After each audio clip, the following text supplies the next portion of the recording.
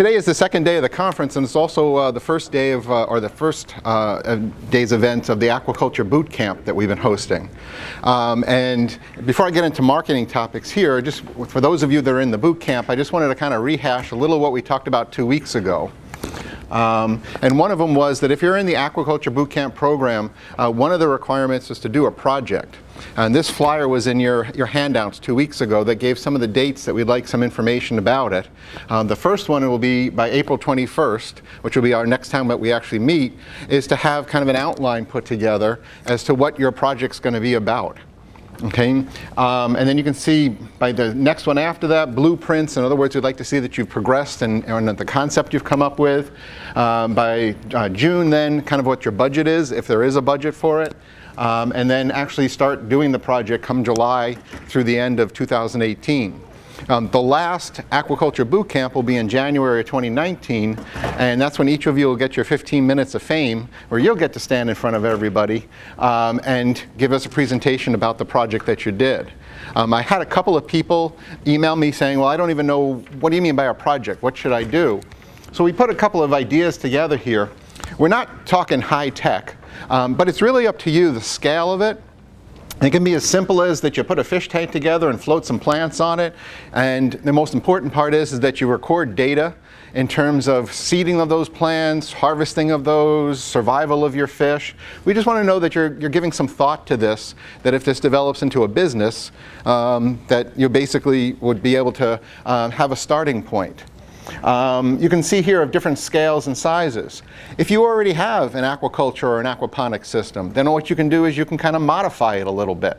Um, and that can be your actual project. Um, so lots of different ideas. Um, a lot of people asked about this. This is on the web, and that is barrelponics is relatively popular. Um, again, I think the concept behind it is that it's cheap, and you can pick up those blue totes just about anywhere. Um, but just give some thought to that, the type of project. I was just mentioning to Emma that one of our boot camp members emailed me and said, well, do I have to actually build something? Or can I put together my business plan, my financial plan, and my marketing plan? And I said, absolutely, that's a project right there if you'd rather do that. Um, so we just want to, beyond you know the 12 times that we meet, we just want to have you, um, you know, get some hands-on activities going um, in terms of the thoughts. And, and by all means, if you're planning on at the end of the boot camp to continue to develop your business, make your project something that's starting your business, all right, so that it helps you along the way. So hopefully that gives you a little bit better idea in terms of what we mean by a project. Um, we've set the dates just to keep nudging you along. Um, you can certainly get things done quicker if you like. If you get them done slower, well then Em and I will come up with a nasty email to send you every day. so uh, um, again, some thoughts, and if you want to bounce ideas off of any of us, you can email Emma, Greg, or myself and say, well, this is what I was thinking. Is this along those lines? We'd be happy to. We're a partner in this whole 12-month program. Um, so by all means, bounce ideas off of us. Okay, so hopefully that gives you a little bit better idea what we meant by that project. And again, this is for the boot camp members. Um, the other one, which wasn't working when I gave the presentation two weeks ago, uh, but we heard about it yesterday, um, is that uh, NADF together we put together uh, a siting tool in Wisconsin in terms of uh, locations that uh, have attributes that are uh, more associated with successful fish farms in the state. And by successful, we mean that they've lasted more than five years. Um, and last time we were doing this, that this tool wouldn't work, and I found out it was due to the campus's uh, internet security system. So if you go to the NADF website and look under projects, you'll see the GIS siting tool is one of the projects. Um, there's two of them. There's one for pond culture and there's one for uh, flow through or raceway culture. There's also a link to instructions on how you actually operate this. Um, this one here is the pond one. I just clicked on it just moments ago and, and launches. Um, and at the top there you can kind of see a, the, a little line right over here so inside the room you're on, right over there is the layers tool which pops opens that window on the right. Um, we looked at a variety of factors that we could find data sets about in terms of uh, water pH, nitrate concentration, uh, CO2, things like that, water hardness. Um, if you go down this list, there's also other features on there such as what is the slope of the land, um, what is the average well depth in those areas. Again, there's statewide data sets available for those that we put into this model. Um, you click on the ones that you find to be important, and then it changes the colors on the map. And just for quick reference, anything that's red on there is less favorable for a pond culture system. Anything that's more in the yellows and the greens is more favorable. Um, interestingly enough, and if you're a little bit into Wisconsin history, is that if you actually looked at that map, there was basically a giant glacier that settled right over there, and this is uh, the moraine that was left behind. So it's essentially saying the moraine areas are the better areas to actually put ponds in the state. Um, again, when we put this together, hopefully it'll be a resource for people. You know, if you own property smack dab in the middle of that red, it doesn't mean you can't farm fish there. All right, it just means that you probably have to get a bigger backhoe um, and dig a deeper well. okay, so it's a tool to help you, but it's by no means saying you're going to fail if you go in the red and succeed if you're in the green. It's just giving an idea that the attributes in the green and the yellow are attributes we found at long-lasting fish farms in the state of Wisconsin. Okay, and again, just to quickly show you on here is that you can go over to any one of these tabs that are over here, and if something was really important to you, you know, you, you click on those different features, and you'll notice that the colors then start to change uh, on the overall map. Um, so again, um, it, the link is available through NADF's website um, for pond and flow through. You know, go ahead, go there, use the tool, play around with it a little bit. Um, it, there is an instruction sheet as well, but if something doesn't make sense, again, please get a hold of us and we'd be happy to walk you through it. But we thought this was a pretty good tool to put together and we were kind of a little bit proud of it because we're the first state in the United States that has a siting tool done. Okay, so today's topic and our, and our aquaculture bootcamp topic, which I think translates to, to all the fish farmers, is the concept of uh, marketing. And we've got a whole bunch of speakers lined up here today that are going to be talking about these concepts from different perspectives um, of what marketing is and labeling is of your products. Um, we always, whenever uh, Greg, Emma, or I go around to a fish farm and, and try to offer help, you know, the usual statement we have is, is we can teach any of you how to raise a fish, but we can't teach any of you how to sell it. Right? We're biologists. Um, so today's topic is about marketing. Um, and one of the things, I just have a brief introduction and then Jonathan will come up here with some more details on betting, because this is more his field than mine. Um, but basically, when you look at marketing, um, basically what you have to do is you have to look at it from a different perspective. Right, most of the time you get wrapped up in the fact that you're producing the fish and now you want to sell them. So you're viewing it as a producer. Um, marketing is really a reverse direction, that is you have to think about it the way that a consumer looks at it. Um, so this nice little diagram shows you here that basically what we have here is the selling concept. So as a producer, you know, what do you do? Well, you have your farm and you produce products that are on your farm. In other words, you raise fish. All right? Then you get to the point you say, well, I want to sell my fish, so how do I sell that? How do I promote my fish um, to others that are out there that might want to buy them? And then essentially, if you can sell them, that's how you register your success, is you've made money off of those fish that you've sold through a marketing view, essentially what I have down here, the marketing concept, you have to view it as the consumer, the, purchase, making, the person making the purchase. And what you have to know is, is well, what are the customers, customers' needs? Right? Why are they looking to buy that product? Why are they looking to buy your fish?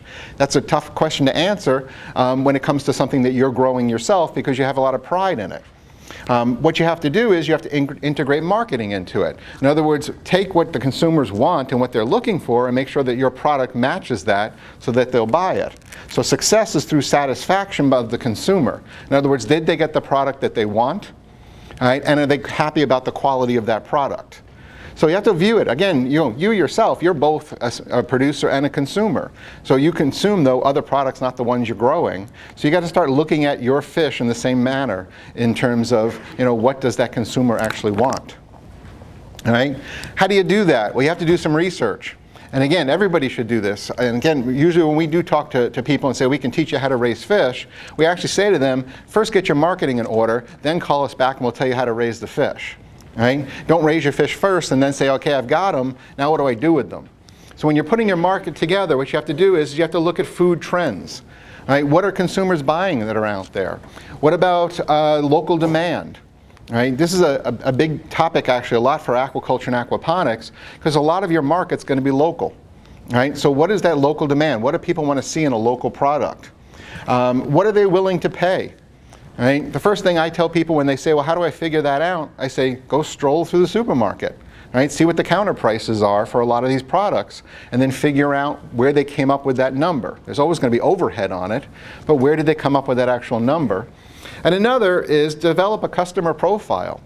Right? It's pretty amazing if you walk into a restaurant or a supermarket and you walk up to the, say the seafood counter at the supermarket, you know, the person, the manager behind there will be more than willing to talk about the products that they sell. Right? And then you'll say to them, well, what, who's buying these products? Are they younger groups or are they older groups? Um, it's amazing how much information they're willing to share because they don't view you as competition, they're going to view you as a supplier. Okay? So you look into those aspects of it. Uh, big thing, and this is how I actually learned marketing, is to remember your P's and Q's. Right? P's stand for product, so that's the fish or the plants that you're growing. Price, right? Most likely what you want to do is, is you want to survey the seafood that's out there and find out what's the most and the least costly. Um, place, you know, what is your position in terms of selling your product? Now what this means is, is not necessarily, um, is it a restaurant, is it a supermarket, is it a bar and grill, but where is the place in which your product is going to find itself on the shelf in the store? Okay, is it going to be frozen seafood? Is it going to be fresh? Right? Is it going to be in the seafood case or is it going to be off to the side? So it's as much that as it is the actual physical location where you're going to sell it. A lot of it goes into promotion, and one of the things you want to see is that consumers like consistency. So when you're promoting your product, come up with a standard type of sales pitch, a standard type of label, and stick with it. Right? Don't constantly modify it thinking, oh, maybe they, they didn't sell because they don't like the fact that my label's green. I'm going to change it to blue. Right? If you chose green, stick with green. They want to be able to spot your product wherever they actually go. And then the last one, the cues, really comes back to quality. Right? If there's anything when people go to buy products and surveys are done, what they say is, is I look for a quality product that I can get at a good price. Okay, so always remember that that quality kind of rules when it comes to uh, why consumers buy a product. I mentioned customer profiles. This is really important as well. Put together information on who you're actually trying to sell it to. Okay, if you look at this table that's up there, one of the first things you want to look at is demographics. Right? What is the typical consumer who's buying your product? Um, what is their age? What is their income? What is their race, their education level, and where do they live? Okay? If you know these things about the people, then you can start tailoring your marketing plan towards the actual consumer. Uh, you might ask, well, where do they get this information from? You'd be amazed at what's on the internet these days. You know, we talked about good and bad yesterday, but you can really pull up a lot of different demographic information right off of things like the U.S. Census of, uh, uh, that's out there. There's a census of agricultural product sales that the USDA puts out. You'd be very surprised at how much of that information is just a few clicks away, um, and if you make sure you go to the reputable websites for it. Um, how about uh, psychographics as well? That is, is what is the consumer thinking of when they're actually going out there to buy their product? Right? Um, what do they use as their, um, uh, or excuse me, what do they do in terms of how far away their product comes from? Um, there's a big movement across the US about what they call the locavore movement. And that is, is that people are very interested in supporting local businesses and finding out that their food didn't come from very far away. I actually saw the first article come out this winter in which they said that the concept of local food is actually starting to creep up and may surpass the concept of organic food. And that is that people are actually willing to pay for local food more than they're willing to pay for organic food. So it's very interesting. And we talked, heard a lot of people talk about organic certification yesterday.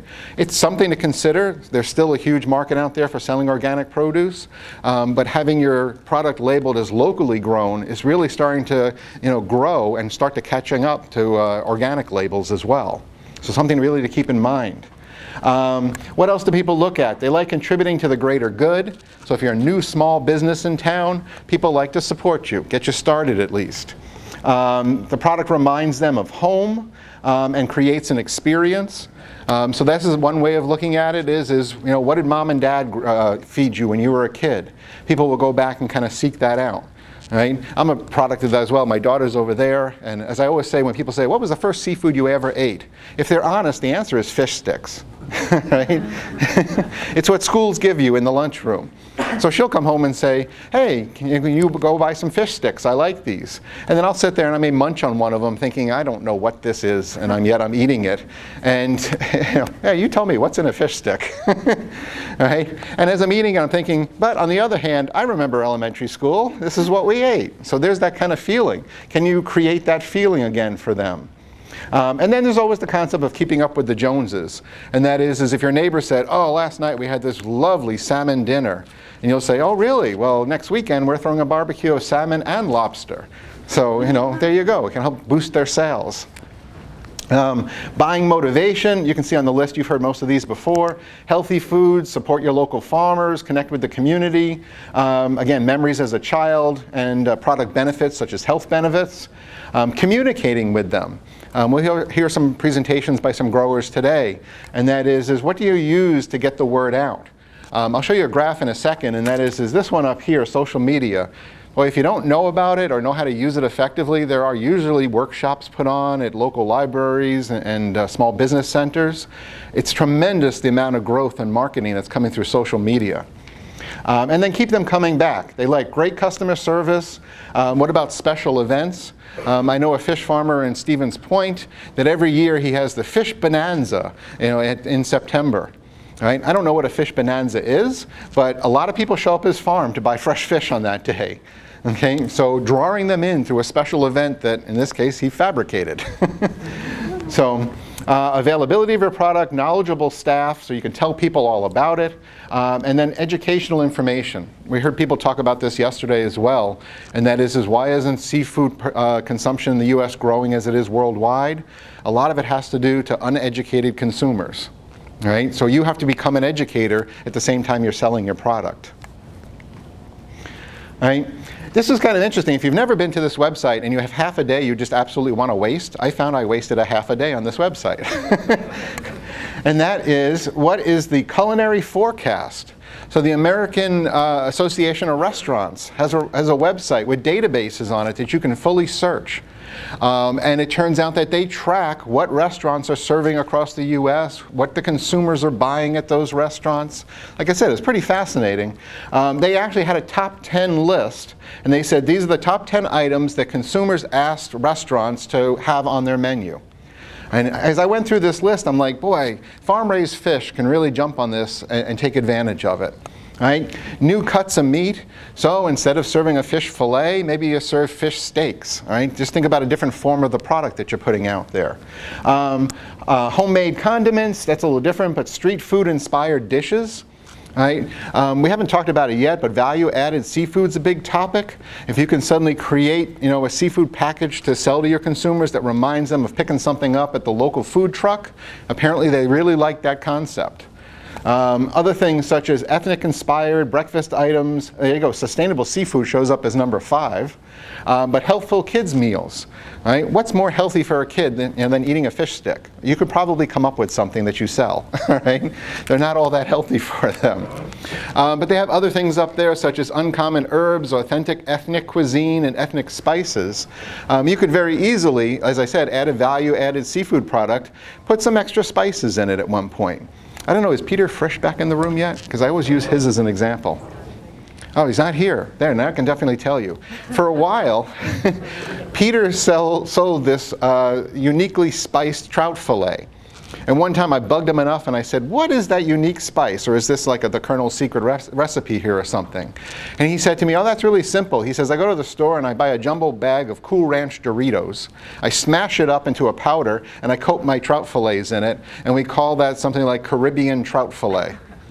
And I was like, really? You don't call it Cool Ranch trout fillet or something like that? But he said, yeah, but the difference is that bag of Cool Ranch Doritos cost him a buck fifty, and he could treat something like 50 fillets with it. But he actually jacked the price up five times the amount that he would sell the normal fish fillet with in terms of coating it in Cool Ranch Doritos. so uh, you can look at that. I laugh at it. I love telling my class about it. On the other hand, I also ended by saying, what a genius. I mean, think about that. All right? Um, so keep that in mind. Don't use Cool Ranch Doritos. He's kind of trademarked that, but you can pick any other type of snack that's a salty snack that's out there. All right. Another big part of it as well is developing a brand. All right. Come up with your logo. Um, you know what colors are used in your logo. Consistency seems to be what consumers look for in a logo. They want to see the same logo showing up on each one of the products um, that they're looking at. Um, we saw Superior Fresh talk about that, that they're going to be in the Kwik Trips, but they have their little logo on it. And it's going to be the same logo that's going to be sold with their fish. Um, easy to look at and easy to replicate. Um, and then weave your brand into everything signs and merchandising, t shirts, hats, uh, bumper stickers, everything like that.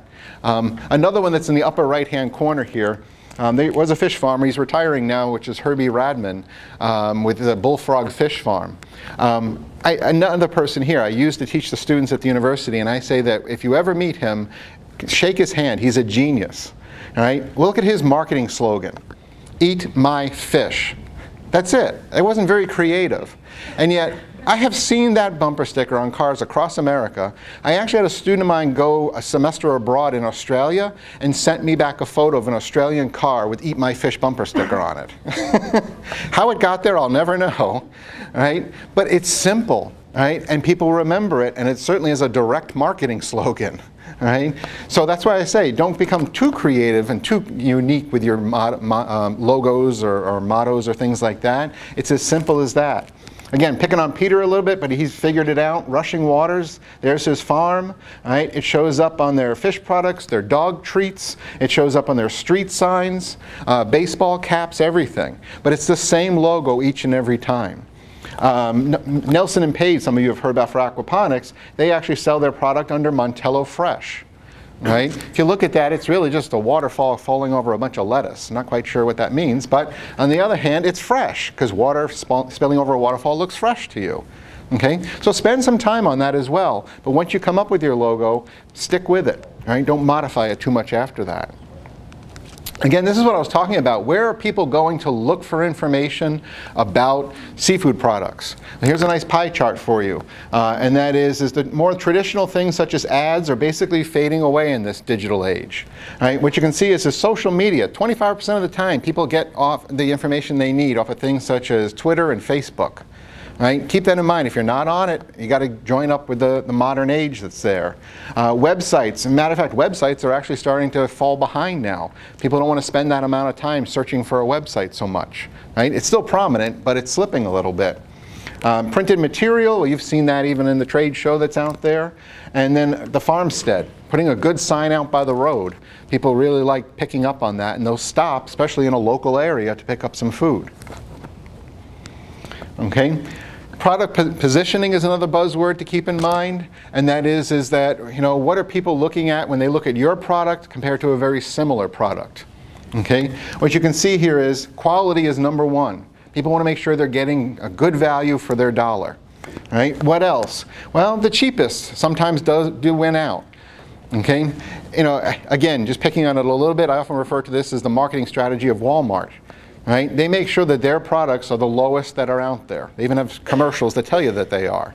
Right? Um, that's the way they kind of undercut some of their competition. Yep. The other thing which I just thought of as well, the other is, is that people are using things that fit on their smartphones.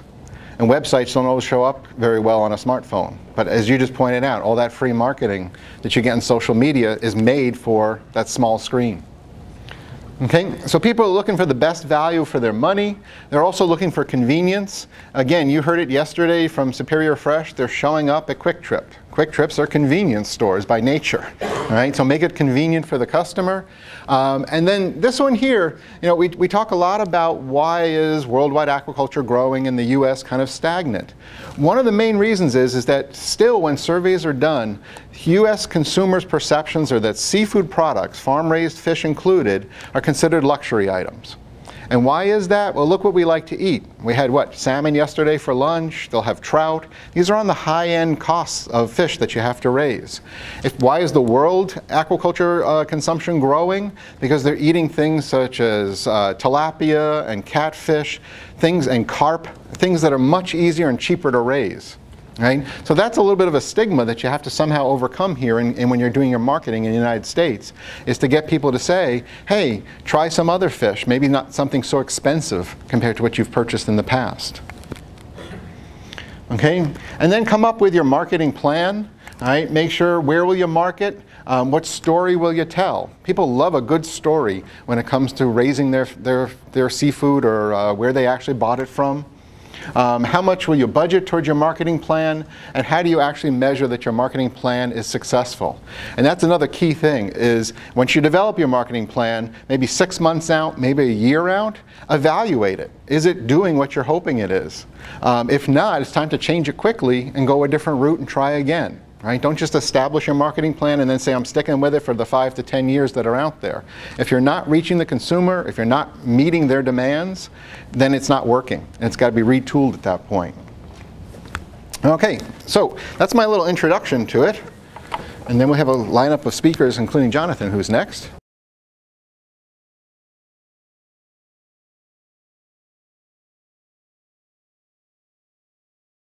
Jonathan Van Senten, and I'm here to talk to you today about three topics. Uh, the first of which will be strategic marketing, uh, sorry, adapting to ever-changing markets. The second will be strategic marketing, and the third will be farm financial health. Um, I've got a lot to cover in an hour, so I'm going to try and stay on track and on time. Um, so if anyone wants to uh, give me a, hey, you're running out of time signal, I'd appreciate that. Um, so I guess the first question, I, I, should preface all this by saying, I am not here to answer, I'm not here to give you the silver bullet because there is no silver bullet. It's that simple. I'm going to go through these topics and discuss things that I've seen, that Dr. Carole Engle has seen in her experience of over 30 years working with aquaculture farms one-on-one. -on -one. And I'm actually going to ask you a whole bunch of questions. And the reason for that is because that's something for you to think about when you go home to either do your project or look at your own business. And I'd be happy to try and answer any questions you have at the end of this. But unfortunately, there's no silver bullet. There's no one answer to solve all the problems. So I can't share that with you because it doesn't exist. So the first question I have for you is, does the world ever stay the same? Right? And once upon a time, we moved around with a horse and cart. We had a, a rotary phone, and I actually still remember those. Um, and that was what an airplane looked like. And I think we all know the answer that no, the world doesn't stay the same because now we have these electric cars and drones flying around and phones that ask us how they can help us as opposed to having to actually touch them at all. and so that translates to aquaculture, right? Can your aquaculture business stay the same and survive? Can we still stock fish from milk cans? So what we're faced with is really is, is changing consumer demands, right? There was once upon a time, there was a time when a catfish was really only eaten along the Mississippi River. That's no longer the case. There was a time when the orange roughy was called a slime head. That's not the case anymore either. And of course, a time when shrimp was a very high value luxury product only consumed in very small volumes. Again, not the case anymore. Now just a commodity. So, you know, we see that these changes happen and businesses need to adapt to respond to those. So where is consumer demand headed? In broad general terms, trends show that consumers want highly differentiated individual flavors and products. You have all these different types of detergent to choose from, and for some reason I always pick the wrong one and um, hear about it from my wife later. So. But, um, but, but that's kind of the trend that we're seeing, is this high, high differentiation of products. There's also this, as, as Chris mentioned just now, this demand for local food that's growing. People are getting more invested in their food. They want to know the story behind their food. And so that is an, indeed a trend that's happening throughout uh, the industries, not just aquaculture, but, but all of food. So then we come to this word millennials. And uh, I am a millennial, um, so I want to disclose that. Um, and no, we're not all the same, but, but um, there are some things that are true about us in general terms. You know, millennials are, we, we live in the age of information. We're used to instant access to information. That's just what we expect. And so things that we are interested in are, for example, taste. Taste is a huge thing, right? Millennials tend to be foodies. Not everyone, but many of them. Safety, we care about the environment, we care about the safety of the food that we consume. Sustainability, responsibility, these are concepts that, that are not foreign to us. They're actually things we look for in the products. So, so that's just something to kind of keep in mind. You know, when you look at in terms of this new generation that's entering the market and getting all this buying power, these are kinds of the things that they're looking for in the products they buy. So what does the current business climate for aquaculture look like? The first point I want to make is we have competition with imported fish. I think everybody knows that in excess of 90% of the seafood that we consume is imported. That's just a fact. So that's a reality that you face when developing your business, is that you're going to compete in some way with imported fish. It may be uh, a complementary product, it may be a competitor of a product to your product, but you're going to have to deal with imports in some way. The other thing that we know, and as I talked about yesterday, is regulations.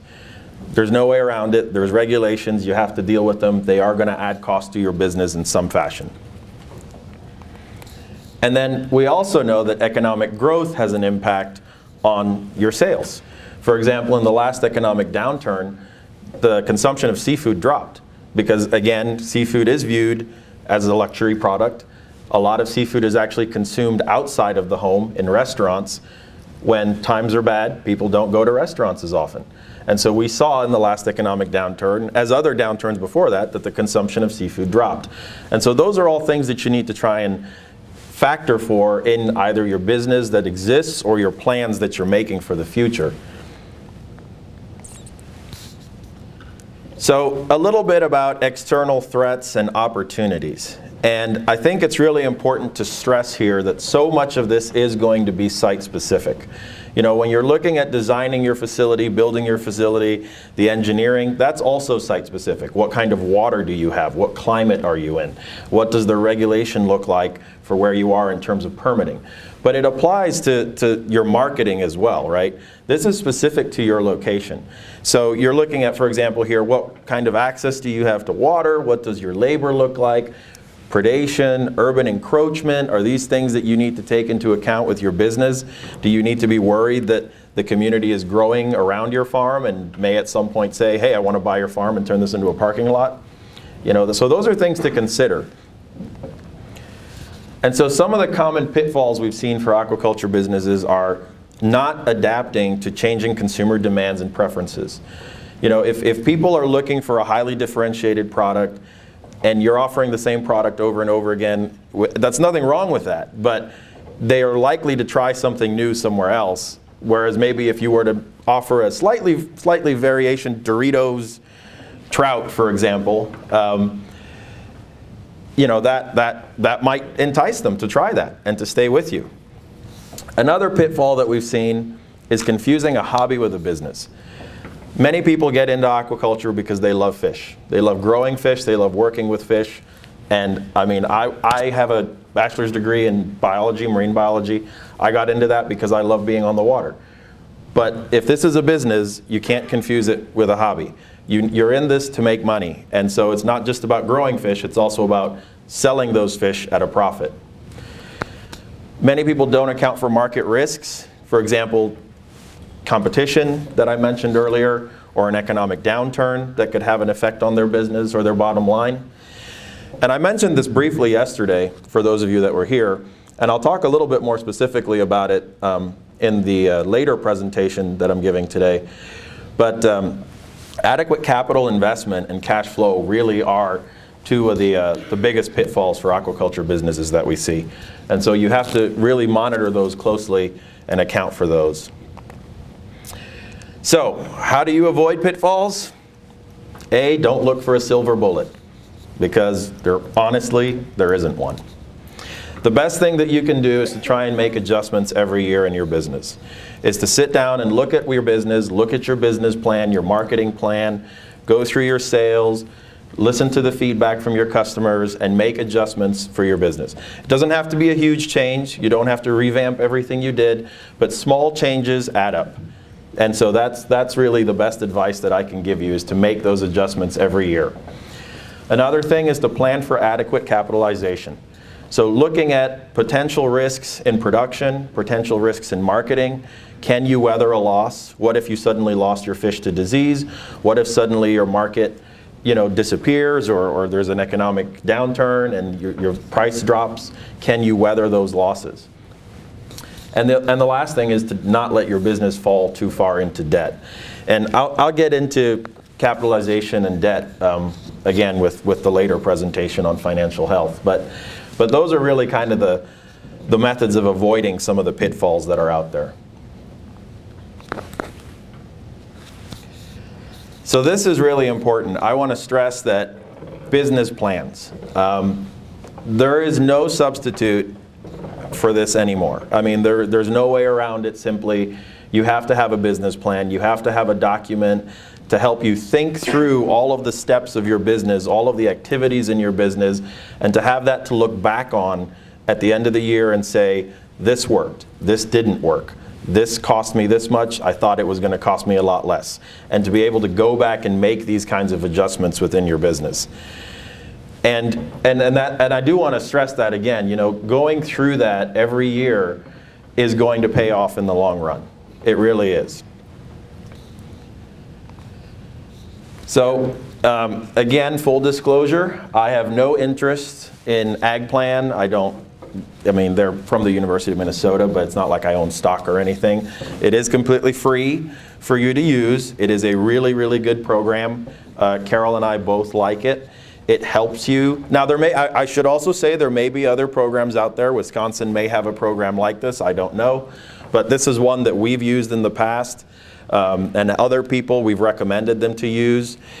AgPlan basically goes through and helps you put together your business plan. So if you don't know how to do that, no problem. They go through it, they give you all of the different items that you need to include step by step, a full list of the various things that need to be in that plan, and then even they give you some tips on how to explain this, what to put in there, some additional resources on where you can get some more information, some clarification. The thing that I like the most is this one, the samples. They actually give you some samples of what it would, what you should be writing in this section to give you an idea. Now again, this is not aquaculture specific, but it helps to give you an idea of, hey, this is what it should look like when I fill this part out. And then of course the last part is any comments or notes that those are just for your yourself to look at later if you want. And, and you can create this account and save it so that you can go back and modify it. The really, really nice thing about it is you can attach your financial statements, you can attach documents to it, so your financial statements that you come up with from Excel. And at the end of it all, it gives you an option to put together a full business plan. And what it does is it formats everything for you, it puts everything in the right order, and you save it as a Word document or a PDF, and you can print it out, and there's your business plan. Your whole business plan, everything put together.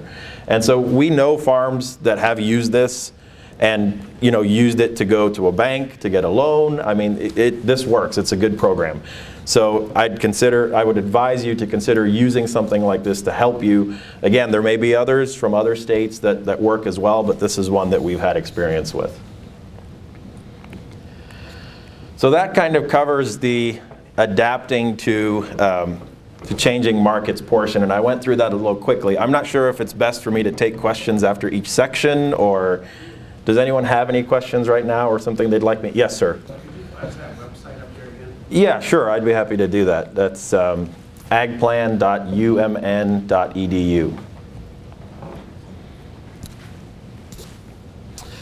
So getting into strategic marketing, and you know, this is about finding your key market and choosing the right products for those markets.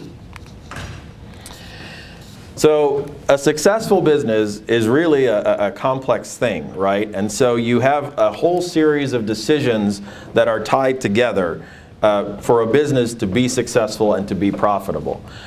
So one of those is, of course, your market decisions. And then you have financial decisions that you have to make, management decisions on how to operate and run, personnel decisions, who are you hiring, what kind of people do you need in the business, the scope and scale, so how big are you going to get,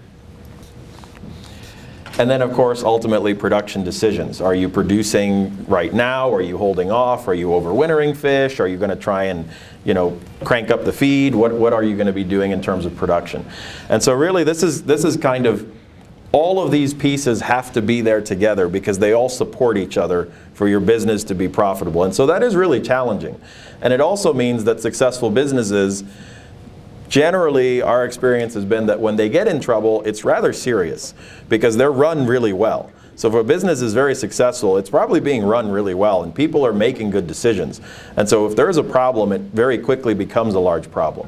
And that's also why going back and reevaluating your performance every year is a helpful way of, of looking at things so that you can try and catch some of those things early. So a quick reality check. Again, as much as I'd like to give you the cookbook for financial success, there is no such thing. Okay, I, just, I, I, really have to emphasize that. What works for one person may not work for you. What works in one area may not work for your area. It really is site specific, and also sometimes even species specific or system specific. So that's something important to consider. And so my advice there would be, you know, if you if you have a particular plan, try and talk to the people that are doing what you want to do in an area similar to where you are located. Because they're going to likely be the most similar to you. But even there, it's not going to be identical. So some of the market-related reasons for business failure. And these are two quotes that, that I, I like because I think they, they cover quite well what some of the challenges sometimes are. Peter Drucker once said that management didn't ask, didn't ask the question, what is our business? What is your business really about? Are you selling a trout fillet? Are you selling an experience? Are you selling the story of your farm, your family farm? Are you, what, what are you selling? Are you selling recreation? Are you selling sustainability? So really the question is, what is your business? What are you doing? Are you producing something? Eric Wagner said that entrepreneurs retreat to a cave instead of thoroughly understanding what their customer needs. This goes back to what, what Chris was saying in the introduction. Understanding what your customers' needs are and trying to fulfill those needs is crucial. If you're providing a very high quality product that doesn't meet anybody's needs, nobody's going to buy that. They're not going to, they're not going to spend money on something they don't need. Each business has to have a unique plan that works for that specific business. So what we see here is, for example, a portable flower truck, right? And it's theflowertruck.com is their website. And so that's, that's kind of a unique twist on something, on an existing concept, right? Flower stores have been around. Now you have a portable flower business. Or this one. I kind of like this one. Rentthechicken.com. I've never tried using it, by the way, so I don't know if it really works. But um, yeah, that, you know, that's something unique, right? It, it, it gets your interest right away because you're like, hey, we can rent a chicken. Um, but, but that's something that is apparently working for this business.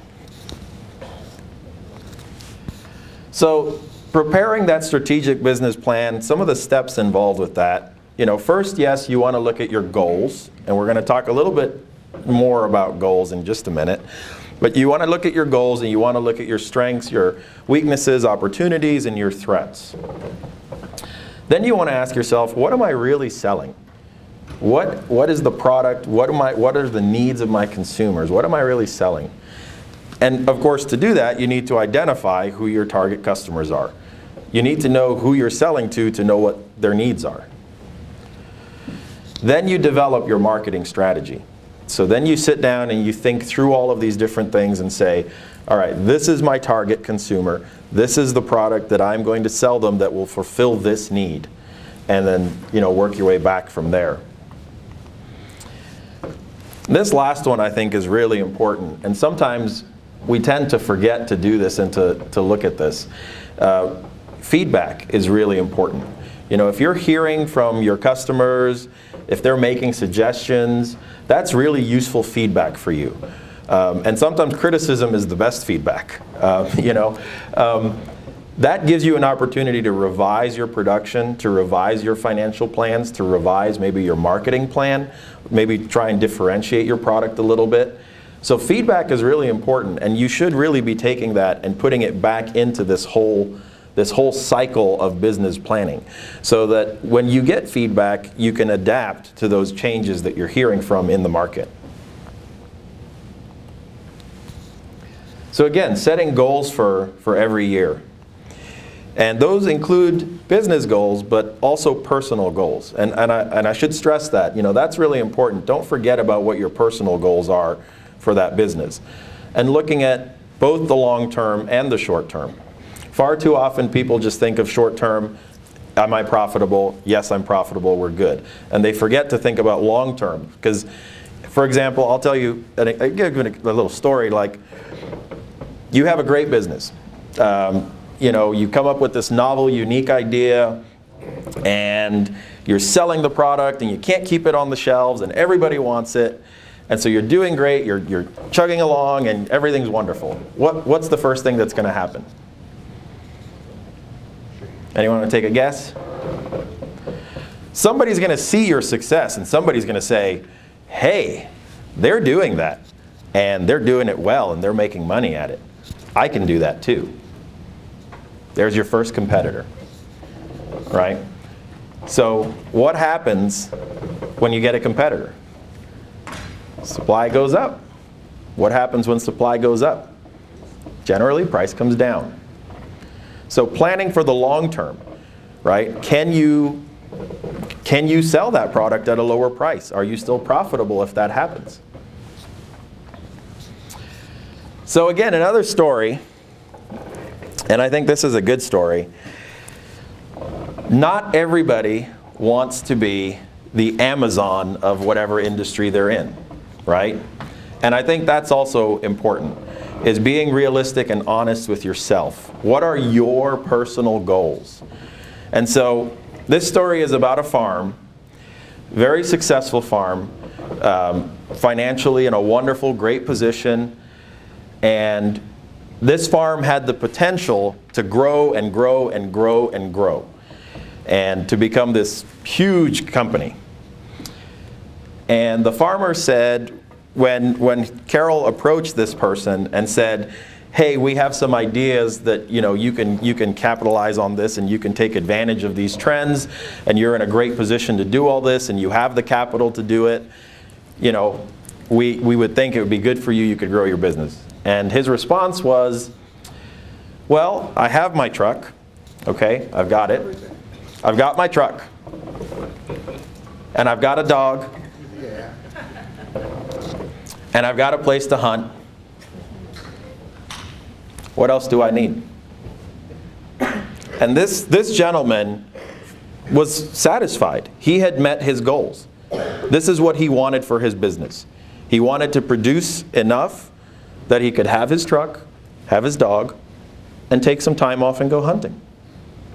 And so it would have been a wrong decision for him to say, I'm going to expand this into this huge company and I'm going to have to hire all these people and because that's not what his personal goals were.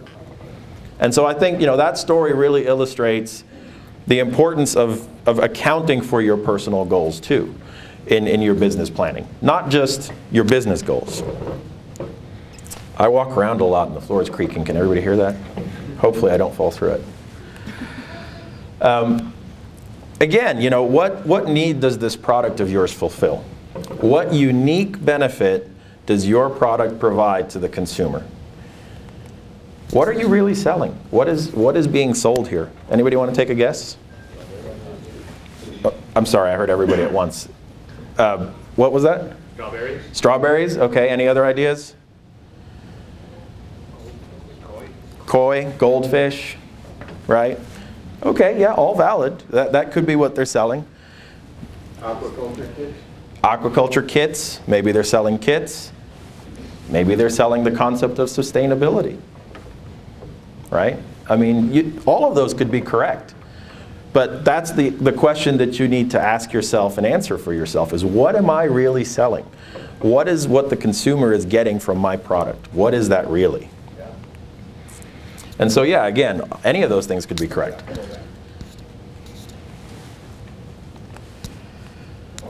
Identifying your target market.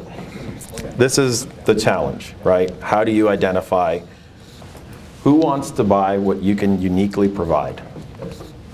Where are those people located that can buy what you can uniquely provide?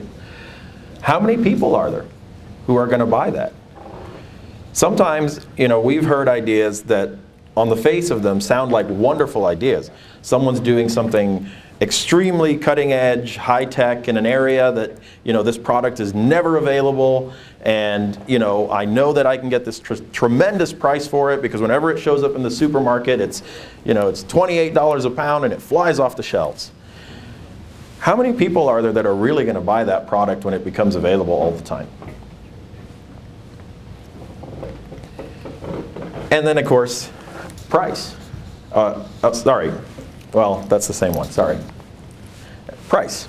What price will they really pay for that product? You know, there's a difference between someone trying something once because it's new and someone coming back and becoming a repeat customer and buying it over and over again. People are often willing to pay a little bit more sometimes the first time to try something and say, all right, we'll give it a try, you know, we'll try it for dinner. But are they going to come back every time and say, yeah, I'm going to pay that price every time I want to eat, you know, trout or perch or whatever it may be that you're trying to grow, shrimp?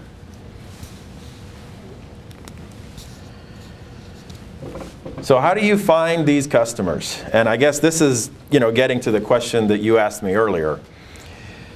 One of the best things you can do is observe people.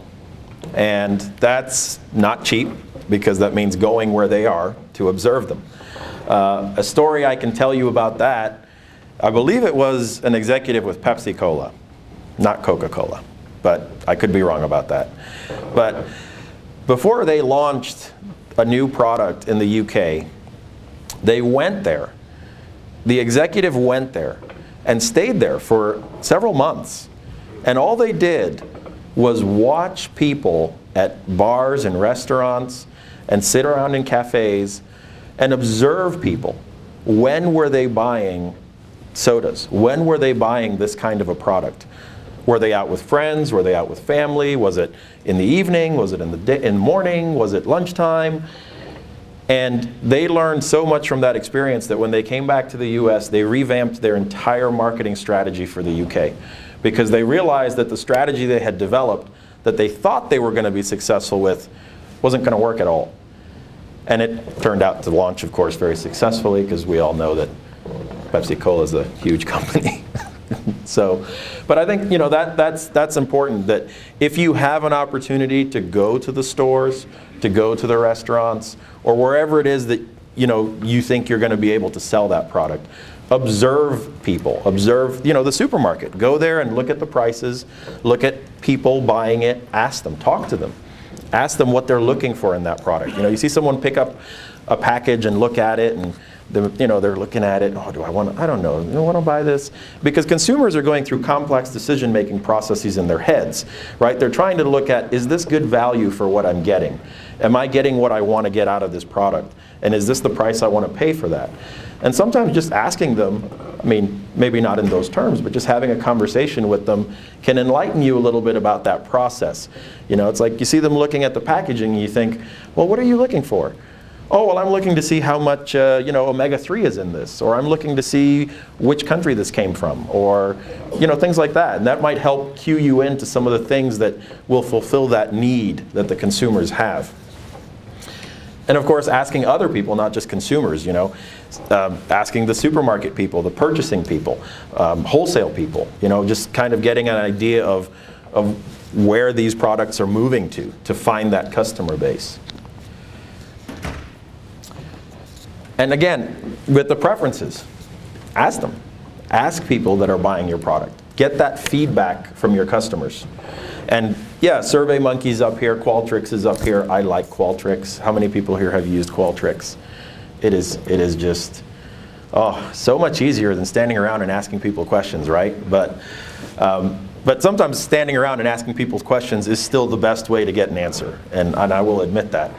Um, but yeah, uh, you know, observing them, asking them, talking to them, asking others, asking people that are in the industry, you know, hey, what are you finding about, you know, the size, for example, with the walleye? That's a great story. That's a great example. You know, is, is, is that really the size I should be growing? Should I be growing a two pound fish? Well, no, you know, we actually found that people are trying to buy these one pounders and because they make these great fillets that fill the baskets. Ah, okay, so I can I should probably be doing one pounders then. This is the challenge. And I put shrimp up there, but it could apply to just about anything. You have to find the price that will cover your costs, right? That makes sense. Otherwise, you're not profitable. Can you compete with the price of wild caught and imported shrimp, for example, if you're going to go into the shrimp business? Is that something you can compete with? Because on some level, you're going to have to compete with that. And if not, then who is going to pay the higher price? right? Who can you find that will pay a higher price for your locally grown, recirculating, sustainable, you know, environmentally friendly marine shrimp? And then the next question is, how long will they buy that from you? And at what volume? Is this going to be a product that people only buy for a special occasion? For the holidays, you know, a Christmas dinner or a New Year's Day feast or a Fourth of July? Or is this something that they're going to come back and buy every week or every two weeks? That's going to matter in terms of your business plan and your marketing and whether you're going to be able to cover the cost of your production. I think another important thing that sometimes gets overlooked um, is that we have to map out also the distribution system that your business has to deal with to get your product to the market, right? Are you going to be doing that yourself? Are you going to be doing that portion of it yourself? Are you going to buy your own trucks to move your fish around? If so, how many trucks do you need? What is the cost of running those trucks? And regulations come into play then too, right? Because you're adding that on. Another question you need to ask yourself, for example, is will you require a grading facility? Are you trying to sell a particular size product at a particular price point? Do you need a special facility next to your production just so that you can grade that product or hold that product if you need to for a little bit more time? Will you be shipping products? Will you need packaging facilities? Will you need a place to be able to pack, package and box up that product? Whether it's live or frozen, or are you going to need extra infrastructure and labor to do this?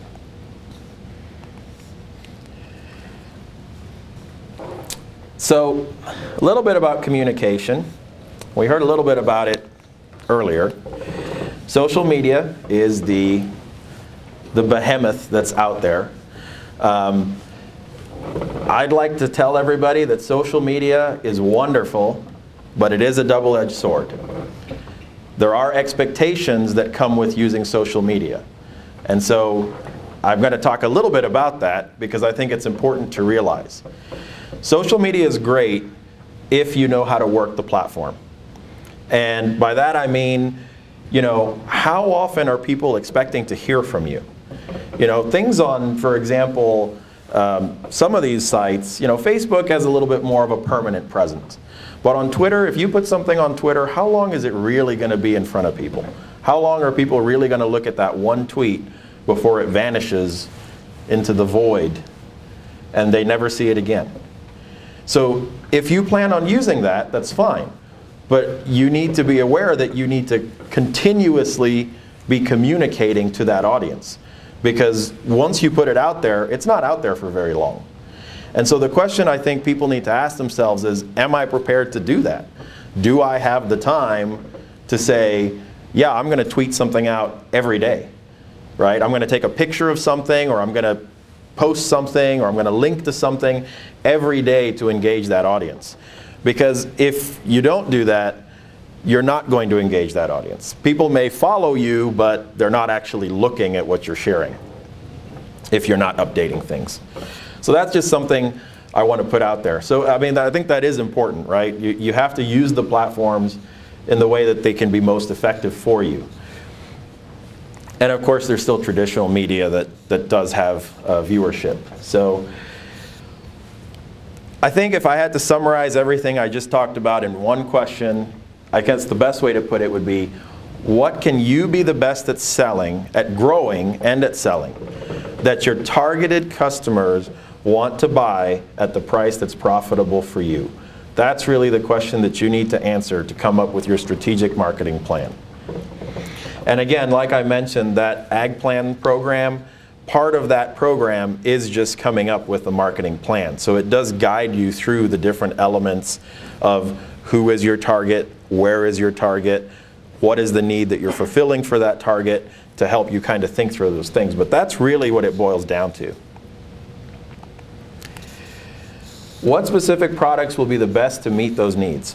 What size of product? Again, the example of the one pound walleye. When do they want this product? Weekends? People only want it on weekends, on a Friday, on a 4th of July. What form do they want that in? Do they want it live? Do they want it filleted, processed, value added with, you know, again, Doritos? I got to try that. I mean, now I have to go try that, you know. Does he still make that? I. I, have to ask him because, uh, yeah, I, now I have to try that. Do your customers want variety? Is that what they're looking for? Are they, are they looking to be able to come back to you and have something a little bit different every time? Are they perfectly satisfied with having the same thing over and over? What, what do your customers want? And how much variety? If they want variety, that's great, but how much? Are they just looking to switch off two or three different things? Are they looking for something new every day? And that all depends, again, on who is your target market, who is your targeted customer. How many different products can you manage in your, in your business efficiently? That's another big challenge. You know, sometimes, um, and this came up yesterday actually, you know, there's, there's a lot that you can do, for example, with uh, waste products. Or there's a lot that you can do with, say, oh, hey, I have some excess water. Maybe I can do this, you know, I can grow some of this alongside what I'm doing.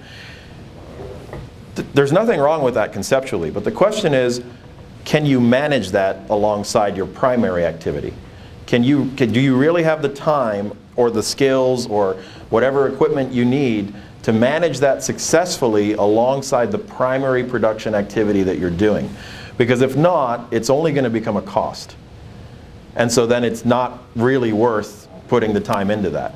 So that's just something to think about is, you know, yes, maybe my customers want 12 different varieties of whatever I'm producing. But I can't manage 12 different varieties. And so then that's not an appropriate decision for your business to make. Maybe just manage three or four varieties.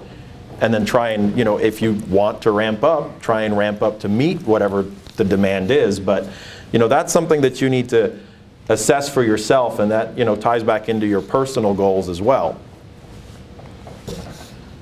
Do you need processing? Do you need processing in-house or can you send that out to someone else? If you do, that's going to change your operations. It's going to change your costs. It's going to change infrastructure, capital requirements, regulatory requirements. You know, you're going to need HACCP, uh, which may require training if you don't already have that. So these are all things to consider. Distribution, right? How, how are you going to get it out there? Are they going to come pick it up at the farm? Are you going to deliver it to a central location, a wholesaler? Um, are you going to deliver it door to door to restaurants?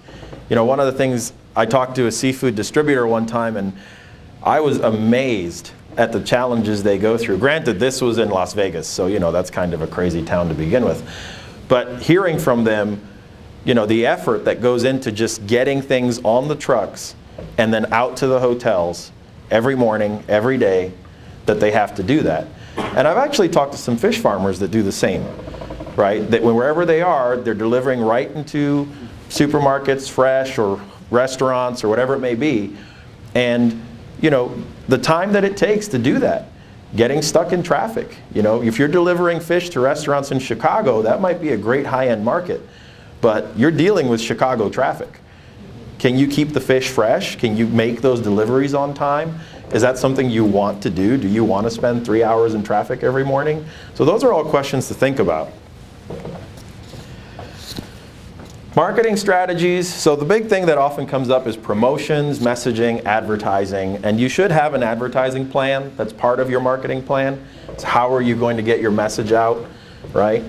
Um, there's a lot here. I mean, there's a lot of avenues that you can pursue. The internet, uh, which I agree is a great platform because, again, social media is largely free. Websites are not always free. Um, but you know, everybody uses the internet today, so that's that's a great way to go. Television, I mean radio, print, newspaper, a lot of this is informed really by who is your target market, right?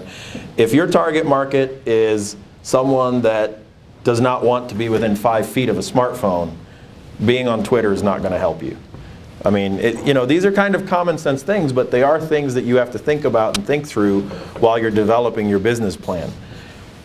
If the area where you're in has really poor internet service, maybe a wi maybe having a website isn't the most useful thing. Now, if you're selling outside of that area, you might need a website. But, you know, maybe for that local market, it's not the best way to go. Maybe you're better taking an ad out in the paper, the local paper. or a flyer, sending a flyer around.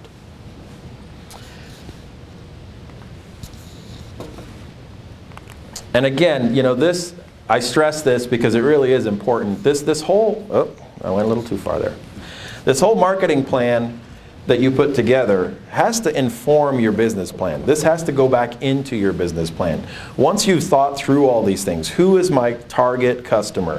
What am I selling? What need of theirs am I fulfilling? Look at the rest of your business plan and say, do these things match up? Am I going to be producing the product that I am actually going to be able to sell at a profit with my plan that I have here, with this facility that I've designed, in the location that I've picked, with the production system and technology that I'm using. Do I have all the right permits and licenses? Can I get those to be able to do what I need to do? Right? And, and another thing, you know, customer service, I'll take a minute to talk about that. I think I'm, uh, I'm running out of time. Well, real quickly then, you know, there, there's examples of some farms that survive on customer service. You know, they sell their product for a premium, higher price than others. And why do the people keep coming back to them anyway? Partially because of quality, but also partially because of customer service. They build a relationship with those customers. They take the time to get to know those customers. And so the customer eventually learns this is somebody that will fulfill my need, that I can talk to, and that I can say, hey, you know what? It'd be really great if I could get this in this size, or it'd be really great if I can get, you know, uh, on this specific date because I need it for whatever reason. And so if you can provide that kind of customer service, that might also give you an advantage, a competitive advantage, because people build that relationship with you and they know that you're going to fulfill their need. So they'll come back to you. And of course, the financial plan. And with that, I left the, uh, the best for last, I suppose. Um, and also the longest, so maybe I didn't time that quite right. So uh, financial success, uh, and I'll try and move through this to stay on track. I don't want to throw off anybody that comes after me. But really, there's three pillars for financial success in your business. And the first is cash flow, then comes your financial position and profitability. I'm going to say right now, I'm not going to talk about profitability. Profitability is just making sure that you can cover your costs and have excess money after that, right? That's profit. So that one's pretty straightforward. It's not easy to achieve, but that one's pretty straightforward as a concept. What is profitability? So let's talk a little bit about cash flow and financial position. And like I said earlier, and I alluded to yesterday, cash flow is the number one thing that we see that becomes a problem for businesses. And you know, these three pillars are what keep your business up. If one of these falls, that could bring the whole thing down. So where does cash go in your business? How does cash move through your business? And why are cash flow problems so common? Well, that's because cash is always moving through the business. You have cash coming into the business, cash going out of the business, debt payments that you make, new equipment that you have to buy, receivables, um, inventory, and then of course these unexpected expenses, right? You have uh, a well that goes out, a pump that goes out. Now you have to replace an entire pump or you have a vehicle that's damaged and needs repair. And renovations to uh, uh, meet building codes, for example. You have an inspector that comes by and says, hey, this isn't up to code, you got to change this, you know, you got to fix this. You have to address that right away. So that's an expense that comes out of your business that you didn't plan for. And so that's why cash flow problems oftentimes become so common. And given the amount of capital that's typically used in an aquaculture business because aquaculture is a capital intensive business. Even at small scale it can be capital intensive. You know, two of the key questions that you need to ask yourself are, what is my cash balance right now? How much cash do I have right now in my business? And the other question is, and what do I expect my cash to be like in six months?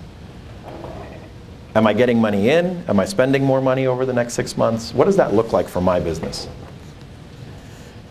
I like this picture. Um, this is cash flow. Okay, this is my depiction of cash flow. Um, you want to be watching your cash flow at all times. You want to know what it's doing. You want to know where it is. You want to know which direction it's going. You want to know if it's going up, if it's coming down. What's it doing? Because it's going to matter. And it'll get you. And how often should you be doing that? How often should you be looking at cash flow? Honest answer, most people don't like this one, monthly. The real answer is monthly. Cash flow is not something you should look at once a year. That's something you should really be monitoring every month. And sometimes even more frequent than that, if your activities demand that. But really, at least monthly, you should be looking at your cash flow. Common pitfalls for developing that cash flow budget. It's not fun to do, but it's necessary. Overly optimistic yields, right? Thinking that you're going to produce 100%, no mortality, everything's going to be flawless. You know, this system did wonderfully at the research station. I'm going to get, you know, 3,000 pounds an acre or whatever it may be. I mean, over optimistic yields. Overly optimistic sales. Do you sell everything you produce?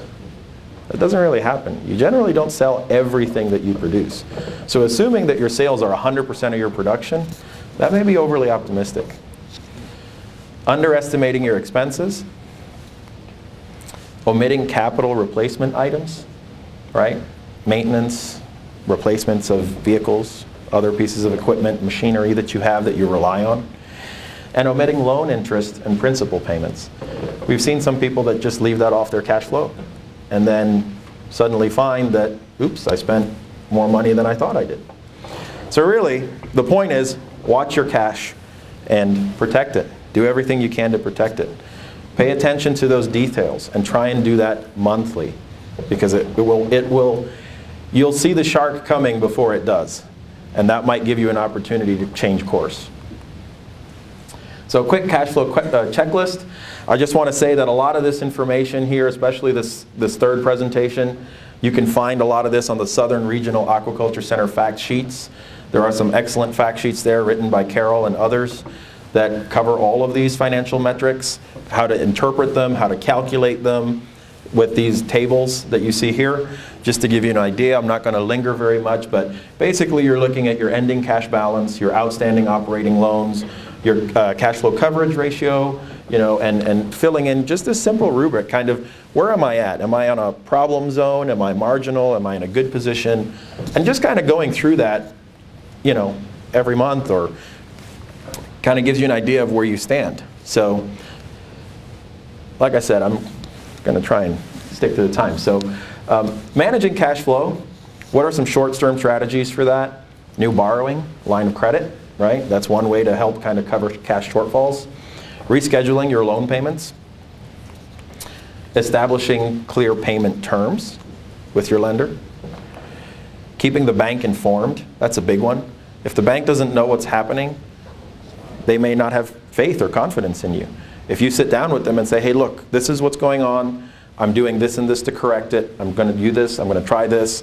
We're going to change this. We're going to sell this here. We're going to offset some of this cost your banker's more likely to work with you and not just hit you with a notice because they see what's happening in the business, they have an understanding that you're trying to resolve it. Slow expansion, slow down your expansions. If you're having cash flow challenges, don't spend extra money. Don't spend more money. Try and slow down on expansions and renovations. So surviving cash flow shortfalls, delay those large capital purchases like new equipment. Don't go out and buy a brand new backhoe if you have cash flow challenges. Collect all the receivables. Make sure that you got all of the receivables that you're owed. Right? Don't let those linger out there. Make sure to do that. Get rid of any stale merchandise, even if that means at a discount. Right? Sometimes just selling that to help meet what your costs are helps bring cash into the business. And then you can keep operating. And selling or leasing back assets like tractors. You know, that's not something you'd ideally want to do, but if you have to, if the situation requires and dictates, you may have to sell off some equipment. Um, talk to your suppliers. Try and see if you can get an extended term. If you're a good customer, maybe they'll they'll give you some slack. Maybe they'll say, okay, you know, you can make a partial payment, or you can we'll, we'll let you go another month. Um, again, that liquidating assets, that's kind of a last resort. You don't want to have to do that um, unless it's very, very dire situation, but it is an option. And also choosing which bills to pay, right? You want to pay your payroll first. You want to pay your crucial suppliers, such as feed. You want to ask others maybe if you can skip a payment or make that partial payment. and see if they'll allow you to do that. And again, having a relationship here is what helps because you know, people are more inclined to work with you when they know you and when they have that established relationship with you. So then quickly, the last six minutes, financial position. So you get this basically from your balance sheet, right? This is a statement of your finances. And really the big one here is looking at your debt to asset ratio. And if that's greater than 50%, that may be cause for concern. Now, I should say that also depends on where you are in your business, right? If you're a startup company and you've just invested a whole bunch of money and bought new facilities and new equipment, your debt to asset ratio is going to look different than when you're five or 10 years down the road. So that is something important to keep in mind. It's not just a, a blanket, oh, if you're over 50%, you're in trouble. But really what that tells you is whether you're going to hold them or fold them, right? Are you in a position where you can salvage it or can you turn the company around and lower your debt or, or not? Are you beyond that? And so this kind of a chart gives you an idea. Generally what, what's defined as low risk is if you're under a 50% debt to asset ratio. Moderate risk is over 50%. And if you're over 100% debt to asset ratio, you're considered high risk. And if you get too far over that, that just leads to foreclosure. And that's, you know, everyone wants to avoid that. So kind of the financial checklist for your financial position is looking things at like the current ratio, uh, looking at your debt to asset ratio and your net worth. And I guess I'll talk about profitability just really briefly. Um, net farm income, is that positive or negative, right? Did you make money or did you not make money? Um, and again, refer to the SRAC uh, fact sheets for information. Businesses have to be adequately capitalized. How will you replace equipment if your business doesn't generate enough money for that replacement? That's something you need to account for in your financial statements, depreciation of your items. Do you have enough equipment to handle an emergency? Right? Do you have a tractor that you could lower into a pond to aerate so you don't lose all your fish? And risk is always a hidden cost, right? Don't take research yields and assume that that's going to be what you're going to get in production because oftentimes research doesn't account for the probability of losses from disease or other factors because that's not what they're looking for. They're looking for the best formulation of a diet or the best, you know, whatever it may be, the best temperature or so they're not really looking at things in terms of, you know, profitability. Don't take equipment that you already own and assume that you can use it for two different activities. You know, one of those, for example, the fish crop may require that tractor more than you think it does. And so don't just assume, I already have a tractor, so I'll be fine. I don't need to worry about replacing it or getting another tractor because I've already got one. Well, you may end up needing more than one to, to deal with the emergencies and whatever other activities you have. We've seen some budgets that don't include the cost of pond construction and the annual depreciation of that. That could be the same for tanks or systems or biofilters, right? That becomes a problem because where will you get the money from to rebuild those or replace those systems if you need to? If you're not accounting for that in your financial statements, then you come up to the point where you have to replace that and all of a sudden it's an unexpected cost and you don't have the cash to cover that maybe. This is an important point I'd like to make for a minute too, and I realize I'm running out of time, but um, labor. Oftentimes people don't account for the value of their own labor, you know, especially when it's a, a family business. We see that people don't include a value for their labor. And the reality is that the farm has to make enough money to compensate you for your time, right? I mean, farmers, just like everybody else, may need to pay for college for their, their kids insurance, retirement, you know, benefits can be up to 25% or more. So that's something to account for in your planning, right? The value of your time. Because farmers, just like everybody else, get tired of working long hours without compensation. You're not going to do it very long if you feel like you're not being compensated for it fairly. So quickly, Nathan Stone, and to go back to Walmart, um, Nathan Stone's Walmart test. Anybody here know Nathan Stone? Okay, Nathan's a riot. He's fun. He's very quiet, though. Um, so this is what we should be asking people. Can you make as much money from a small-scale aquaculture facility as you can as a greeter at Walmart? And if the answer is no, then you're better off working at Walmart where you can be warm and out of the rain. And really, even hobby farmers need to make money, right? Even if you're just doing this as a hobby, even if you're not looking to become a huge commercial enterprise, it needs to pay for itself. Again, no silver bullets. Plan for adequate capitalization, maintain adequate cash flow through your business. Farms that make adjustments every year are successful, even if it's a small adjustment, even if it's saying, I'm going to try and lower my debt 5% next year. I'm going to try and improve my position on you know, sales by 2% next year. Even small changes. People that try and avoid getting themselves into too much debt before taking an action, right? If you're seeing that your debt is accumulating, your cash flow does not look good, it looks negative, try and do something about it early. So again, in summary, you really need to look at cash flow, you need to look at your financial position, and is what you're doing profitable?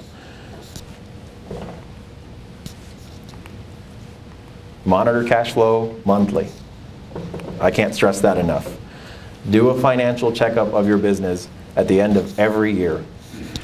Identify and prioritize your weaknesses, set the goals to improve those weaknesses, and make those little adjustments every year in your business.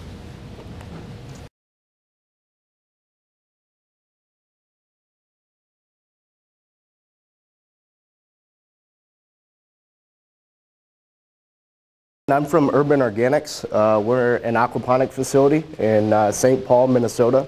Uh, we're in the heart of St. Paul. Um, so we're right near in close proximity to market. Um, here's a video of us uh, farming. This is how we move around and harvest our product. And so part of this is, you know, engaging with our customers and they really enjoy that we are able to um, show them videos like this on our social media and having them take a look at, you know, this is how we farm and they think this is, this is high-tech farming. This is part of what tells our story. Um, so here's a picture of our website and our website really doesn't have any of our products, but it, what it does have is our story, and customers like that. You know, customers, you can get lettuce anywhere. So we're selling more than lettuce, we're selling more than fish, we're selling a story, and that's extremely important um, because the market is saturated. You can get lettuce anywhere.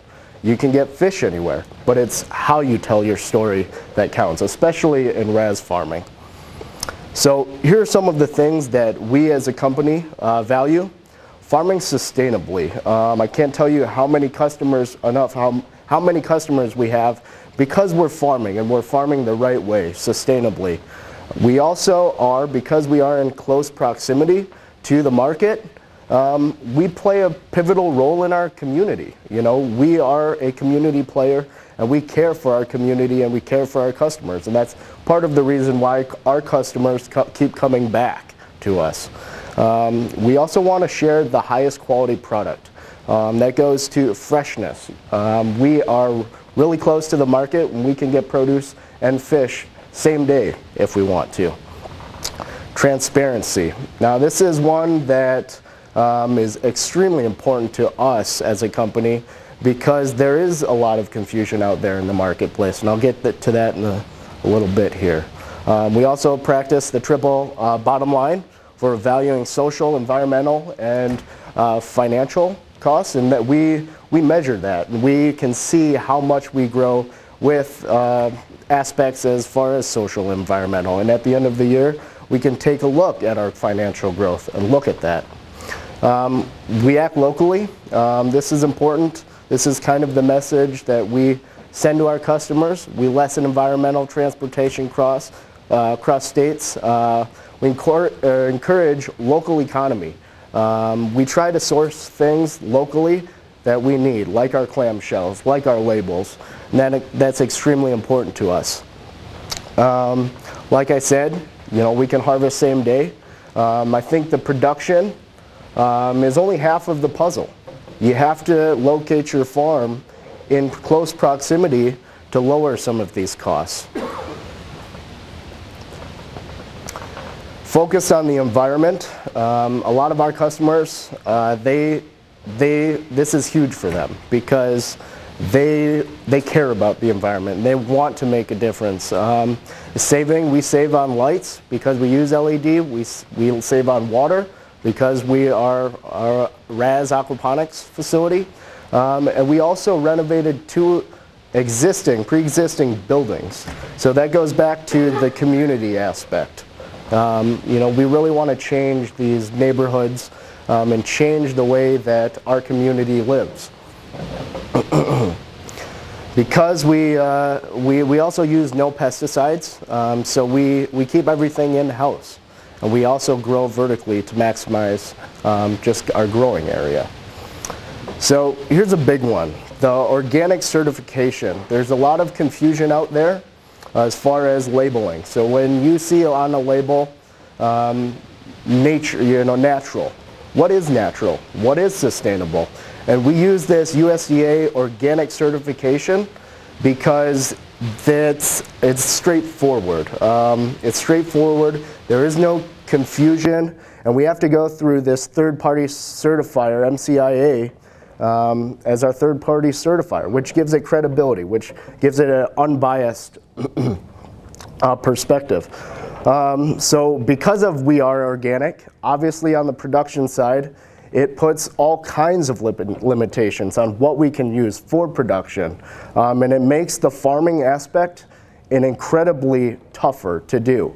But in return, you get that certification, and that's how we keep our customers. We, that's huge for us. Um, so anyone that's looking into getting into organic um, farming, I mean, you have to you have to do this to keep your customers, keep that transparency with your customers. Um, you know, we are trying to stay away from using things, using labels like natural or sustainable uh, because of that. So our biggest means by which we communicate with our um, customers is through our label, you know. When they go to a store and they see our label, we have to tell them a story. We have to educate them. A lot of people um, in the in the uh, marketplace, they don't understand. You know, they don't know what aquaponics is. So we have to show that to them, and that's what we use these logos for. Plants and fish grown in perfect harmony. And while that doesn't tell the whole story, they might ask them questions. You know, they might be curious about trying to figure out, you know, what does that mean? So because we are organic, uh, we have to use integrated pest management. That goes into the production. Um, you know, there are limitations with that. And so we have to keep things as natural as possible. And so we use integrated pest ma management as our tool. We also are part of the Seafood Watch. Um, you know, this is important to our customers. We try to um, promote this idea of, you know, we are taking pressure off commercial farming by providing fish, by providing um, good seafood locally. Um, and when that organic, while there is no organic certification for fish, you know, we want to be ready. So we are doing things as sustainably um, and as environmentally friendly as possible. So again, proximity to market. Uh, I see this too many times where the farm is just located too far from the market. You know, transportation costs are huge for those farms. Here, you know, we are five miles away from our distribution center, or from distribution.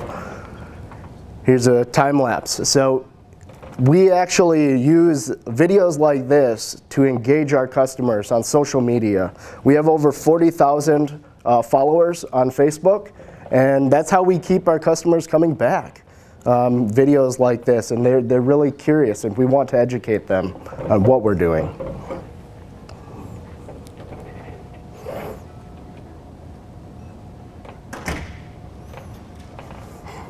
Pretty cool. So local air quality, you know, obviously, like I said, we're, we, we don't have that transportation. Our carbon footprint is small, and we are finding more and more that that's, that's very important to our customers. Um, we, they, they care and they, they support us. That's part of the reason. You have to build this relationship with your customers. And it starts with trust and transparency. So the, this idea of food deserts, uh, this is kind of how my company uh, was founded on this principle. You know, we have, as a company, we have this greater obligation to our community. Um, you know, a lot of low-income neighborhoods, like the buildings, the abandoned buildings that we have now um, as our farms, you know, they were in low-income neighborhoods. And we are actually trying to turn uh, those communities around. Um, there's actually 12 food deserts within the city of St. Paul. As you can see here, this is our Schmidt or our Hamm's location on the east side of St. Paul. And then our right down here is where our Schmidt facility is.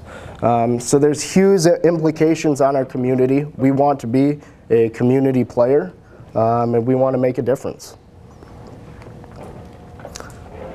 So we partner with the Fish Guys um, as our main fish dist distributor, uh, distribution. And as RAS farmers, we have to kind of kick this negative stigma on fish farming. I think there's no question about you know the environmental impacts that traditional aquaculture has on the environment. And if we can show that to our customers with just how sustainable we are as RAS farmers and aquaponic farmers, you know, they appreciate that. And that's what keeps them paying, they will have to pay a higher price because it costs more to farm this way. But they don't mind. So how does our label um, share, help share our vision? You know, this is, we do it through these three logos plus this organic certification. We also have to have our uh, third party certifier down here on our label. Um, but they, we want them to make the most educated, we want them to be educated to be able to make their own decisions when choosing the products they consume. Um, and we want to make sure that they know how it's being produced and they know it's being uh, produced sustainably. So here's a picture. We actually work with a marketing company called Golden Sun um, in the city, and they specialize in this marketing produce. And so we've been working them with very closely with them, and they've helped us a lot through some of our challenges that we've faced. So as we have started off, uh, Hamm's, like I said, back in 2013, uh, Hamm's was just getting started, and we had Lunds and Byerly's and Birchwood Cafe in St. Paul. Those were our two main outlets. And now we are in several restaurants. Uh, Spoon and Stable, it's a James Beard award-winning restaurant. Birchwood Cafe, Nolo's Kitchen, Hy-Vee, Kowalski's Local Crate, Seward, Octo Fish Bar. So we work with all kinds of different restaurants. They, they believe in us. Is that's, there's no secret, you know? You have to be able to tell your story and you have to have support. You have to have a good working relationship with your uh, customers. Now this was unexpected, um, unexpected and there's huge potential here. Uh, you have to be able to, to look at your product and look at different outlets. Um, and these are unconventional outlets. Um, health partners is hospitals and clinics. We actually, um, they, they approached us because they believed, they saw what we were doing and they wanted to provide health, uh, healthy, fresh produce to their patients. Um, they really wanted to care, they cared about their patients, they cared about the community. And now they, the, the, the response has been overwhelming. Now they, supply our clamshells, and I think we're looking at getting into three or four more hospitals. So you have to be creative. Being creative is huge in this because you're not going to make it unless you, you change, you adapt with uh, the changing market, and you have to be creative. So here's a couple pictures, twin kales. We have uh, around nine different salad blends. Patio mix, finally spring mix, classic duo, just arugula, umami blend, River City mix, spring, and wow, that was really short. But I'll leave you with this. This fresh equals nutritious, nutritious equals healthy, fish and plants help each other grow. I mean, that's our mission. Um, and it comes down to having that support from your community, having a good business relationship with your customers, and just being a, being a, a player in your community.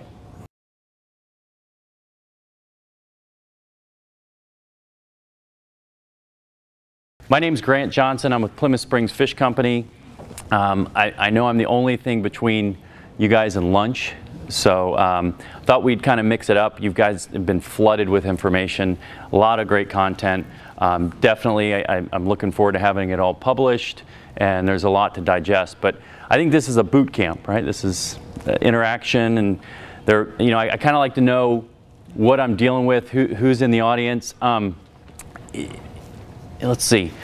If you raise your hand if you are you haven't started a fish farm, you're just here learning. Wow, awesome. Okay. Wow, perfect. All right.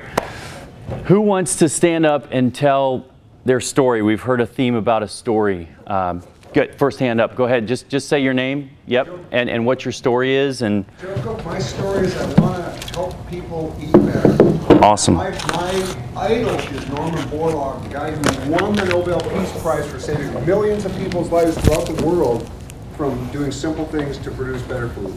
And that means everything. People shouldn't have to worry about food. That's awesome. That's a man after my own heart. Um, these were just smoked by us, so we're going to give out some uh, give out some smoked fish. Thanks for sharing your story. Absolutely. Um, all right, who, who wants to go next? Yes. All right, all right. One of the one of the new folks again who hasn't hasn't. They're just here to learn, but they have a story. What's something they they're here? Yeah, go ahead. So we're a small group of, of people who our main goal, our first main goal is to feed ourselves and our family and leave a legacy for our children to grow food healthily. And that is our first priority, but we also want to make a living at it. And so we've been in research for about three years. Um, and Oh yeah, I met you guys last year. Yeah, yeah, yeah. they're part of the boot camp. Yeah. Um, I more want to be on the business end of it and the marketing side. Um, and so I've done a lot of research that way. Cool. So we've got different parts of our team that people with different strengths to sort of come in together and make this work. Um, and so we're looking for capital and we're kind of um, I was saying to Peter last night, I'm a little bit too old to start from like minimum wage, and so we we're looking at finding. Uh, there's lots of people who care about this. Um, I know a lot of wealthy people, and so we're gonna start there with getting some bigger players on board. Um, and trying to, like, I'm applying for a fellowship soon through the Open Society, trying to get a project going to address um, what our last speaker just said, which is to raise the amount of fish eaten in the United States. Um, it's been done with beef and chicken and milk. Just needs a good marketing campaign behind it, and Right. we can actually change how people, People are ready for view fish as part of their diet. Perfect. That's amazing. Awesome. There you go. Thank you. No, this is great. I, I think this is all really in line with you know what we've been hearing, which is you know tell your story and do what you want to do. I mean, I think all of us could have gotten a job or, or go take a job or have a job where you know you're not happy or you don't like the people you work with or you know so I think I think the focus really to kind of table all of the information all the content you've gotten today I would I would just first focus on what do you like to do? Like like what what what do you what do you want to do? What's your mission? What's your passion? What you know everybody doesn't have to grow to be you know a hundred million dollar uh, fish business. I mean the nice thing is you've heard from folks today that have PhDs and that have big businesses and, and, and that have been successful. But I think what, what we're gonna what I'm gonna talk about is you know we're, we're at your level by the way we, we just started we're 20 months into this. This is my second conference here.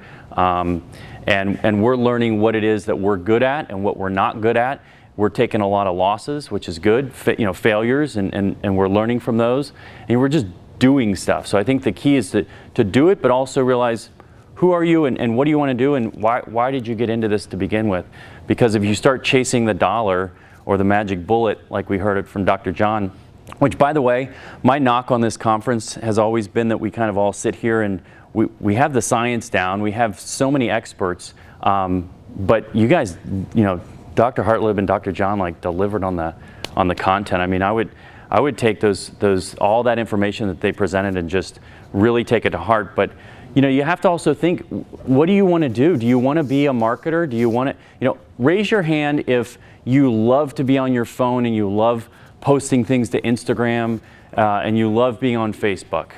Not that many of you, which I, I figure if you really enjoy that, like, like, and the only thing I would respectfully disagree with in some of the talks is, this is everything. Like, like this is every, like, this is not going away. And I have four daughters that you know I dread the day that they they want phones. But the reality is, it, it, it's it's getting more and more. My wife doesn't have a computer anymore. This is all she, you know. You know, I see I see some of the millennials and the, the younger folks, you know, nodding their head. Question. So, Dr. Hartleb, this is your daughter, and what's your name? Abby. And what do you, sorry to put you on the spot, Abby. Uh, and how old are you? 12. 12. Okay, I have an 11 year old. So, what do you spend most of your time on the phone doing? Like, what, what, where are you on the phone? Snapchat. Snapchat. Who's on Snapchat? Okay, more than I would expect. Okay, that's good. people think, oh, this is annoying and this is, you know, who's doing this? I promise you there are 60 year old men in here who sent a poop emoji last night to somebody. Like, that happened. That happened. Like, they're on this, right? So if you're not on this, if you're not telling your story, which is the most important part, and it does, by the way, it doesn't have to be to, you know, it doesn't have to be like, um, necessarily directly to the end consumer. I know, I know I'm here to talk a little bit about what we're doing and what we think our efforts are going to you know, pay off to do.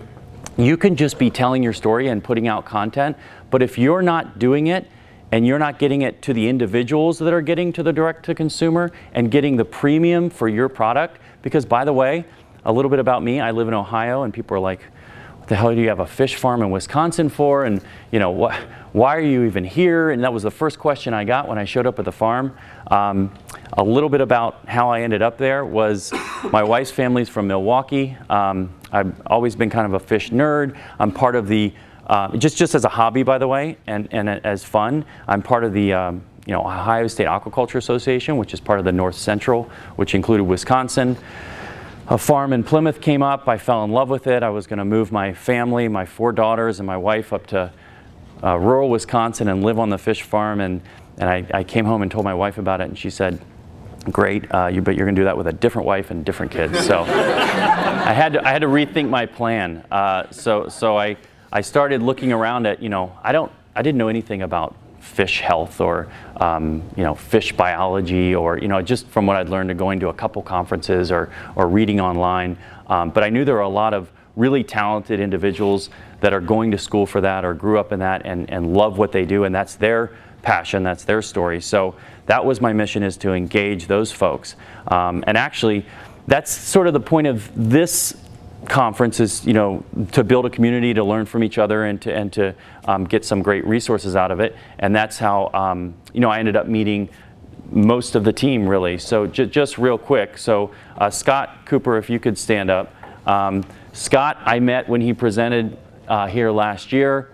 Um, and I was just like, I got to have that kid, and um, he's he's super passionate about what he does, and he he has this great rapport with people. Um, so so I went after him, and little did I know, you know, three other companies were going after him as well, and then uh, you know we we were fortunate enough to you know. Uh, decide to spend the time, energy, and money on, on our team. So, so Scott came on board and he's been a blessing. Derek, if you could stand up real quick.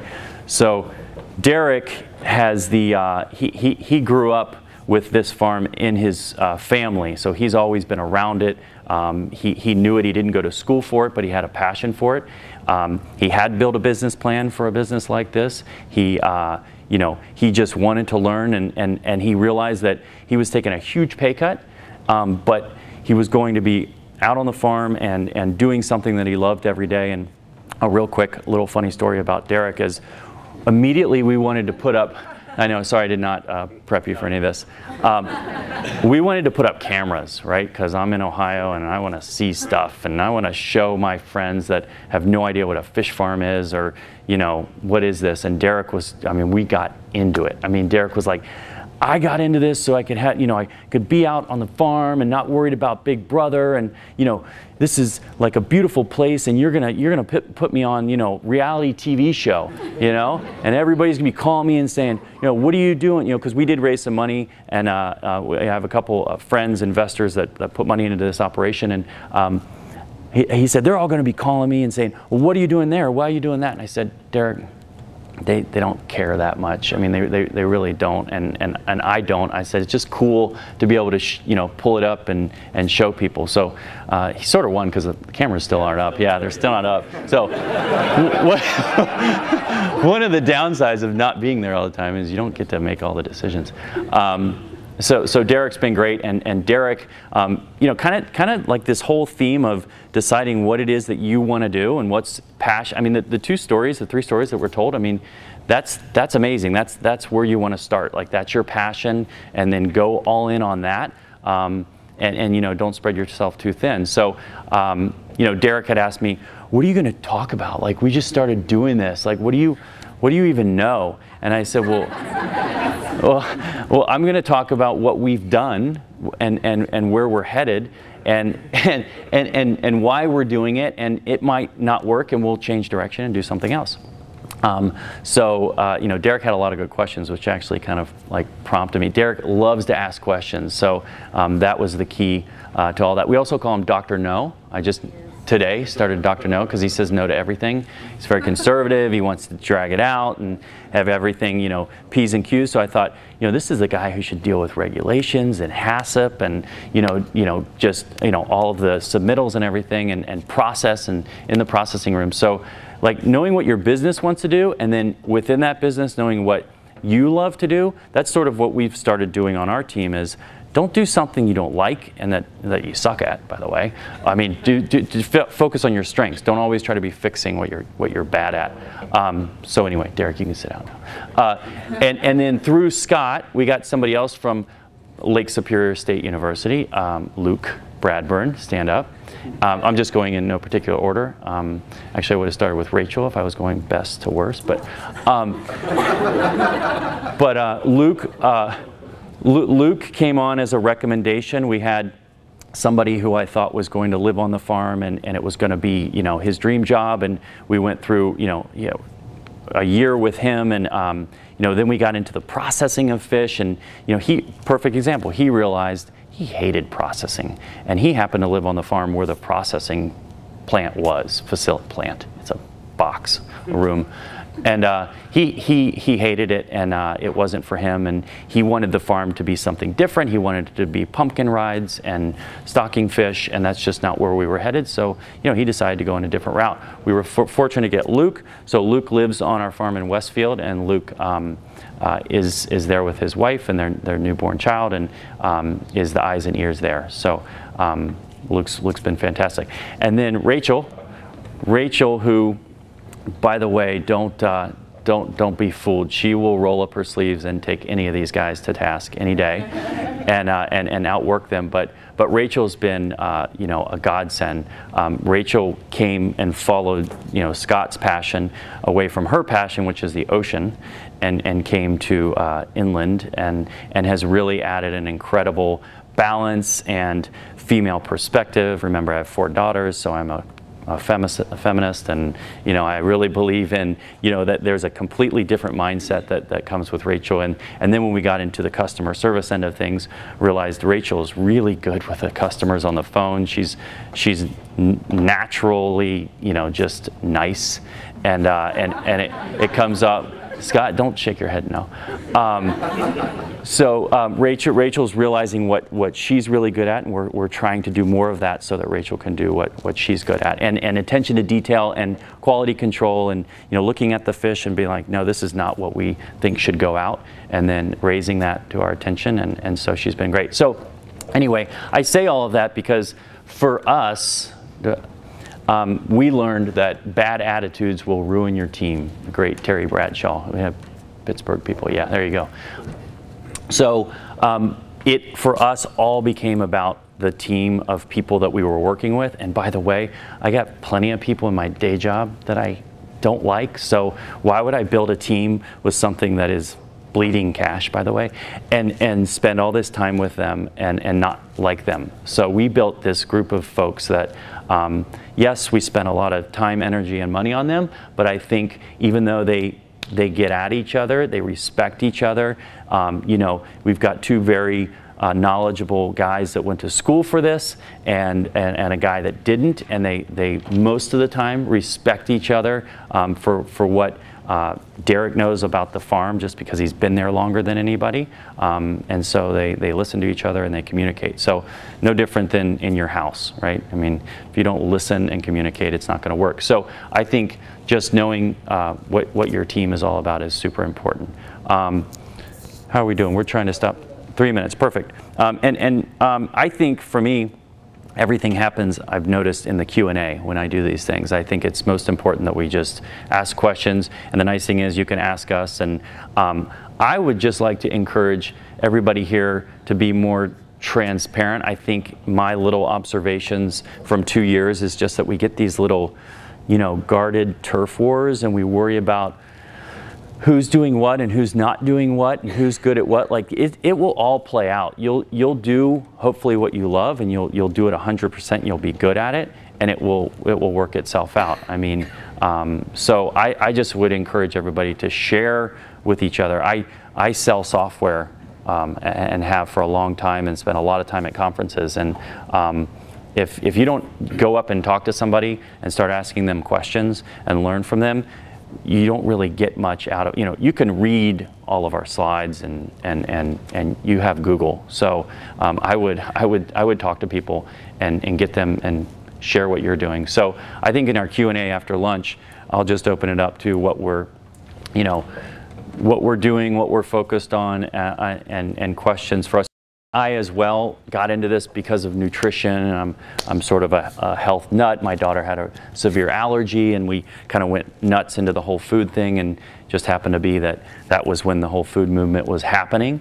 And so um, that is my passion and, and, and feeding people and, and having access to really, really good fish is what drove me here. So not, not knowing fish. I have people that know fish. And by the way, their knowledge, they're new if you couldn't tell, super young but they stop at some point when we run into a problem. And we have on two occasions reached out to a fish veterinarian and it was a lifesaver and it was something that we've, it was fairly simple. It was um, salt.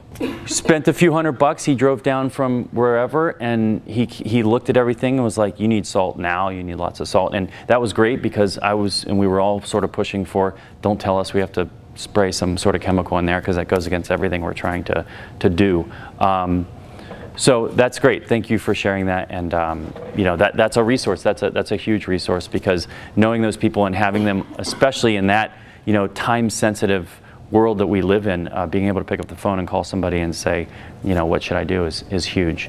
Um, I've probably gotten past my three minutes. So um, anyway, um, we've got a few more fillets if if anybody um, once one, we'll, uh, we'll, we'll, give them out, but, um, and also we'll do a, a Q&A after lunch, and I'll talk a little bit more about what we're doing and how we're doing it. So, cool. Where were we? Okay, so we were talking about how important the team is, and we've invested heavily in our team, and I love our team, and um, they're great. Um, I also want to share, like, you know, we all come to this conference, and I feel like a lot of times what happens is we talk about all the opportunities and how you know how you know we're, we're all all the fish consumption is going up. That's why I love this thing. And It's like all the fish consumption's going up and you know supplies in the oceans and, and the rivers and the lakes are going down, but yet people are eating more seafood and fish in particular, and there's this huge white space in aquaculture, but we we kind of tend to sit in here and talk about all the things that are like negative and not working. And we just kind of like beat each other up about you know the DNR this you know the government didn't pass this legislation. And those are all difficult things that we all need to work through. But um, my mom I don't know I, I, might have mom issues. I just put that up there. Because like we blame something right? Like we, we, we all look to blame and, and, and we're always blaming something. But it's like you know I think back to some of the stories we heard about this is why you guys are getting in this, you know, for whatever you said your passion was, like stick to that and stick to stick to what it is that that you know you want to do. And yes, we're trying a little bit of everything, but we're slowly learning that we're not good at good at everything or we don't want to do everything.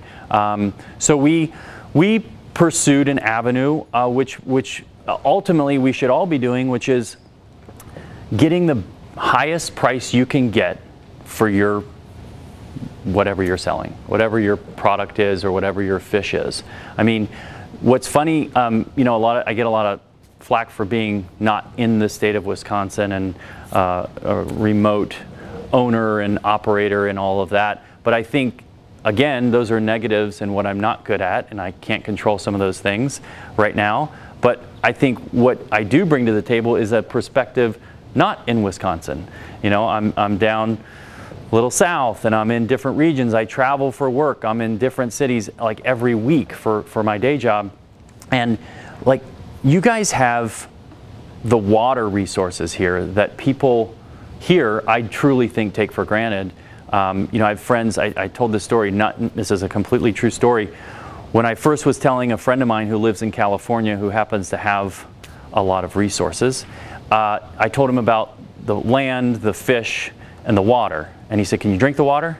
I said, oh yeah, you can drink the water. They, they drink the water. I said, um, he said, like, how good is it? And I said, well, we, we sent it off to the lab and um, we're waiting to hear back because another side story, my, my, my buddy from home married a girl whose brother just retired as the CEO of Fiji Water. So I, I said, can I get his number? Because I think he probably knows a little bit about water. And I think we have good water. So I called him and he was hard to get a hold of, but he finally called me back. And after his sister said, hey, jerk, call this guy back. And uh, he said, all right, send me your lab results for your water. I, I sent him the PDF of our lab results. He, he called me like right back, which was kind of weird. And he said, you've got a rocket ship. And I was like, well, what does that mean? He's like, this water tests out better than Fiji. And by the way, it doesn't come from Fiji, it comes from LA. But uh, he said, now if you just have $25 million, you could build a water bottling brand because you know it's a marketing game. And and I said, okay, well, I don't have 25 million dollars, and um, but I, but I it, it, I kept thinking. My whole point of this is, we have these fish in this region in this premium water, and and the stigma around fish farming is that, you know, it's net pens and it's you know dirty and you know people that don't know anything but they know I only eat wild caught because it's you know it's sitting in a pen and all the reasons that you know you got to dump the chemicals and everything you guys are doing it the right way in the best water with good feed and you have the best product and yet we're not getting the price that we should be getting for that fish. And I keep going back to value, you know, just not having access to this fish where I'm from. As soon as I started with our our you know our little promotion direct to consumer, which is what this whole talk was supposed to be about. I'll get there. Um, was okay, how do you get to that consumer? So we, I took a list of family and friends and pushed out, you know, a promo for them to buy our fish. And the real question was, are they going to buy it again at full price? And are they going to keep buying it? Well, it's a small test, and you know, Rachel has been figuring her way through all of the packaging and you know how much dry ice and how much this and how much that and how long can it last and all that. And so we've been sending it out and people are buying it again and nobody once has asked me about the price. And by the way, it's $19.99 per pound for frozen rainbow trout on our website, which seems astronomical. Although when you package it and you have Rachel who's, you know, expensive and takes time and no. Um, it, it's not this massive home run, but you're you're driving the price of for the value of that fish, you know, for what you're getting. And so um, then I said, okay, well, we're not like a huge marketing engine. We've got 170 followers on Instagram, which is nothing to write home about. We just have started this whole social media game. Um, but you need to get your product to either the distributor, like the fish guys, I guess, who are doing a nice job and pushing higher prices for you know premium quality stuff. You need to get it to the individual that's going to get it to the consumer. If you're not going to be a marketer, and I saw like three hands of people who actually want to spend all their time on Instagram and Facebook and Snapchat and whatever that platform becomes five years from now, because those are changing every six months. It doesn't really matter. It just matters that you're good at it and you have content that people want to consume. You can't just do it. You have to do it every day, like I think I heard someone say, which is true. It only lasts for a little short blip in the universe, and then you have to be putting out content. But you also have to be really good at it because there's so much noise and so much going out on those platforms that it has to be consumable, right? And so either you're going to be that entity or you need to find the person doing that to get away from the five middlemen that are taking all of your profit because those five middlemen don't need to exist, right? I mean, the the internet is the middleman now. I mean, so so a quick story of, of how we did that, and you know, um, and and how we think we're going to put effort into that. And by the way, if that doesn't work, we're going to adjust and shift and do something different. But right now, we've seen su success in this in this approach. Um, because I think, like I was talking to Abby, and Abby is on uh, Musical.ly. Sorry, Abby, I'm calling you out here. But who knows what Musical.ly is? Oh, we got one, two. Okay, why? Because your kid's on it? Yep. Okay, for any of you that, that two, you know, all of you except the two of you that know, three of you that know what Musical.ly is, and maybe Chris is going to be like, "What's Music?" You, you know, um, Musical.ly is a social media platform, and kids uh, get on it and they record themselves uh, lip syncing over a track, usually some rap, you know, hot beat that is out there, and they will lip sync the song, and then they'll post it, and they'll get likes. And you're like, why? I mean, my my niece,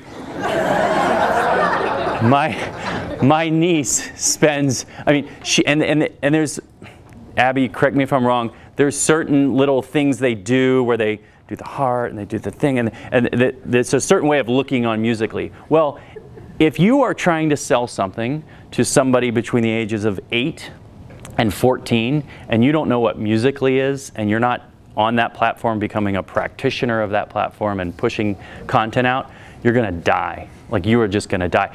Here's a here's a something else you can. Who, who knows who knows who Emily and Evelyn are? Um, really? Oh my, that's so funny. On YouTube? Okay, Emily and Evelyn are two sisters, what, four and seven? My seven year old binge watches Emily and Evelyn. Do you know what these girls do? Their parents, I think it's their parents, stand there and videotape them opening toys. And Emily and Evelyn pass the toy back and forth and they talk about the toy and they share what they like about the toy. And guess what my seven year old does? Turns around and says, I want that toy. And so I have to buy that toy or she's not going to be happy. You know, so, and, and everybody says, why are they doing that? Well, Emily and Evelyn made like $450,000 last year from Mattel and, and, you know, Toys R Us, you know, this is how things are getting sold, whether we like it or not, and it's not going away. It's just, it's not. And, and if you're going to resist it, or you're not going to get your product somehow to a place that's doing that, you're going to die. You just, you don't want to hear that, and social media is for your kids and blah, blah, blah. But, and you don't have to become the social media expert, but if your product isn't getting out there. So um, anyway, just a little bit about, so you know, we've seen all of these, and, and I'm not married to any sort of particular platform. I could care less what it is that's currently being used because everybody said, oh, well, uh, um, you know, Snapchat's going to die because Instagram's doing everything. And so what did Snapchat do? They adjusted and they adapted and they're taking on all the things that our Instagram are doing. And now Snapchat use as the first thing out of her mouth was Snapchat. Um, yeah, MySpace. Right, MySpace. Who cares? You know, Snapchat may be dead in six months or 18 months. I don't think so personally. But again, if that's the demographic that you're selling X, Y, and Z to, and you're not, it's not on there somehow, not happening. So what can we do about it? You can, you know, it doesn't take a, a, a, you know, a videographer or a photographer or any, anybody to start putting out content. I mean, if you start putting out content and even posting it or following places that are in the same, where, where that consumer exists, then you will eventually create a dialogue. Just to give you an example, we're tiny, 174 followers on Instagram. It's nothing, right? So how are we having success? Because just to give you a perspective, um, some of the food bloggers that we have decided to approach on Instagram um, have an average between 40 and 80,000. And by the way, that's just on the cusp of becoming sort of cool or popular. It's, you know, and, and that was sort of, I read an article where, you know, anybody under 80,000 followers, you should start, if you have a product, you should start trying to interact with them or getting in, into their feed somehow. Um, and, and because they're, got, they're about to blow up. They're about to go 100, 150, you know, uh, 200,000 followers, and then all of a sudden, perfect example, a woman that is in our neighborhood started a blog called My Life and Kids, and I didn't even really know what a blog was when she was doing it. I knew she liked to write. She's not a, she doesn't like to be on the camera. She doesn't like to take pictures, but she likes to write. So she just started writing about what she knew, which was her life and her kids. And fast forward, she was in the right place at the right time, and now a stay-at-home mom gets phone calls once a week, and we happen to be in the land of Procter and Gamble, and you know, you know, or Pampers will call her and say, "Hey, can you? We got a new pamper coming out. Can you write about it? And here's 30 grand." 30 grand, 30 grand, 30 grand, 30 grand. Every week, 30 grand. I, products are just like approaching her because the shift in marketing has now become put up a billboard or you know used to be put up a you know a, a magazine and, and hope that that article gets read or whatever. Or you can go directly to the moms 35 to 45 that like uh, uh, pink slippers because you're able to identify that through their social media and you can market your pink slippers directly to them and what's that conversion rate look like. It's, it's, not, it's not if it's happening, it's happening. So I'll get off my pedestal about social media, but I would argue that if we don't, as an industry, start taking this premium product and somehow getting it to an entity that has a focus on this, because I don't think any of us are probably going to magically start to have 500,000 followers on a social media platform, then I think, I think we're making a huge mistake. So um, what have we done in our little world um, to try to, to go after that? Um, sustainable small fisheries. Now, the wild caught guys are doing well with this because there are a couple groups that have, you know, um, started taking small wild caught fisheries are going right to the docks or going right to the boat and they're getting that fish. Um, who's familiar with sea to table? Have you ever heard of sea to table? Anybody? Sea to table? So I happen to have a friend who's, who's, who works at a restaurant and that's how they get all their fish. They, they have a list of you know a couple thousand chefs and they go all over the coasts and they, they'll just say, hey, we got 300 pounds of red snapper today and wherever we are and they'll post a picture of it and they'll blast it out to their chefs and the chefs can order it directly from sea to table. And so that sort of, I call it the blue apron bucket, where you know people are wanting stuff immediately shipped to them fresh, you know, they're willing to pay for it. It's just that market is getting bigger and bigger, and I think that we should be taking advantage of it because we have a product um, that is that is a premium product. It's a it's a fantastic product, and it's not in, and it's desirable by people outside of where are we, Marshfield. I mean, outside of Wisconsin, I mean, it, it is. And, you know, you can get into the carbon footprint argument and the shipping of all this stuff. But the reality is, um, the folks that we're shipping our fish to, and it's not a lot, we're just testing this to see if we're good at it. Um, but they're buying it again, and their kids like it, and their kids never ate fish, and they can't figure out why they like this fish. Well, it tastes good. And what's the magic? Well, first of all, it's fresh. Second of all, it's in phenomenal water and we buy good feed and we, we don't overstock and all of these things that a lot of you are doing. So uh, that mom who just, her, her goal is to get fish into the dinner menu on, at home, and she wants it, and she wants it conveniently, and she doesn't want to have to think about it. And and this is a company that's um, making it easy. Not really for the mom, but this is a company called Love the Wild. Has anybody heard of Love the Wild? If you were at the aquaculture, uh, global aquaculture conference, um, I, I, I just scrolled through who was presenting and I just found it fascinating that at the aquaculture, and I don't know, maybe the aquaculture conference is just for the science and the, you know, the industry to do better at growing and, and, and the fish, but we have to sell the fish. Um, so she presented. Um, I met uh, Jacqueline Claudia at the on, on, a, on a whim, I went to the, the Seafood Expo in Boston and I stayed in the equivalent of like a youth hostel because all of a sudden when you're traveling on your own dime, you know, you, you're really frugal um, as opposed to traveling for the company. So I went there, um, saw her presentation on, on farm-raised fish um, and why she thought it was important to source really good small companies that are doing it the right way and why there's a demand for it. And you know, you had all these seafood guys kind of laughing at her. First of all, she was a woman in a very male dominated arena and she was young and she was talking about farm fish and these guys who all looked like sailors. I mean, they were, you know, looked like right off the Gorton fish box. And, and, and I approached her and just said hello and that we have a rainbow trout farm and in Wisconsin, and she said, "Oh, that's really interesting. You know, here's my card. Get a hold of me." The old traditional whatever.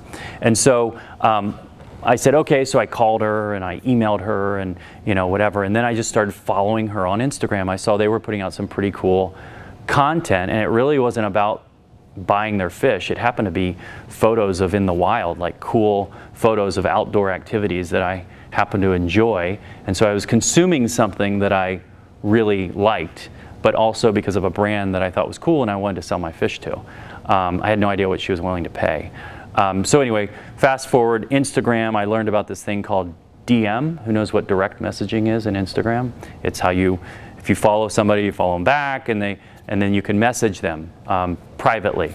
Um, so it all goes down in the DM, if you've ever heard that. Like stuff happens in there, and it's and it's not just you know uh, stuff that you know social stuff. It's business to business. It's business to consumer. It's it's happening in a big way, and. Uh, um, she got back to me. She hadn't returned a phone call. She hadn't, but she she monitors her social media platform because she thinks it's really important.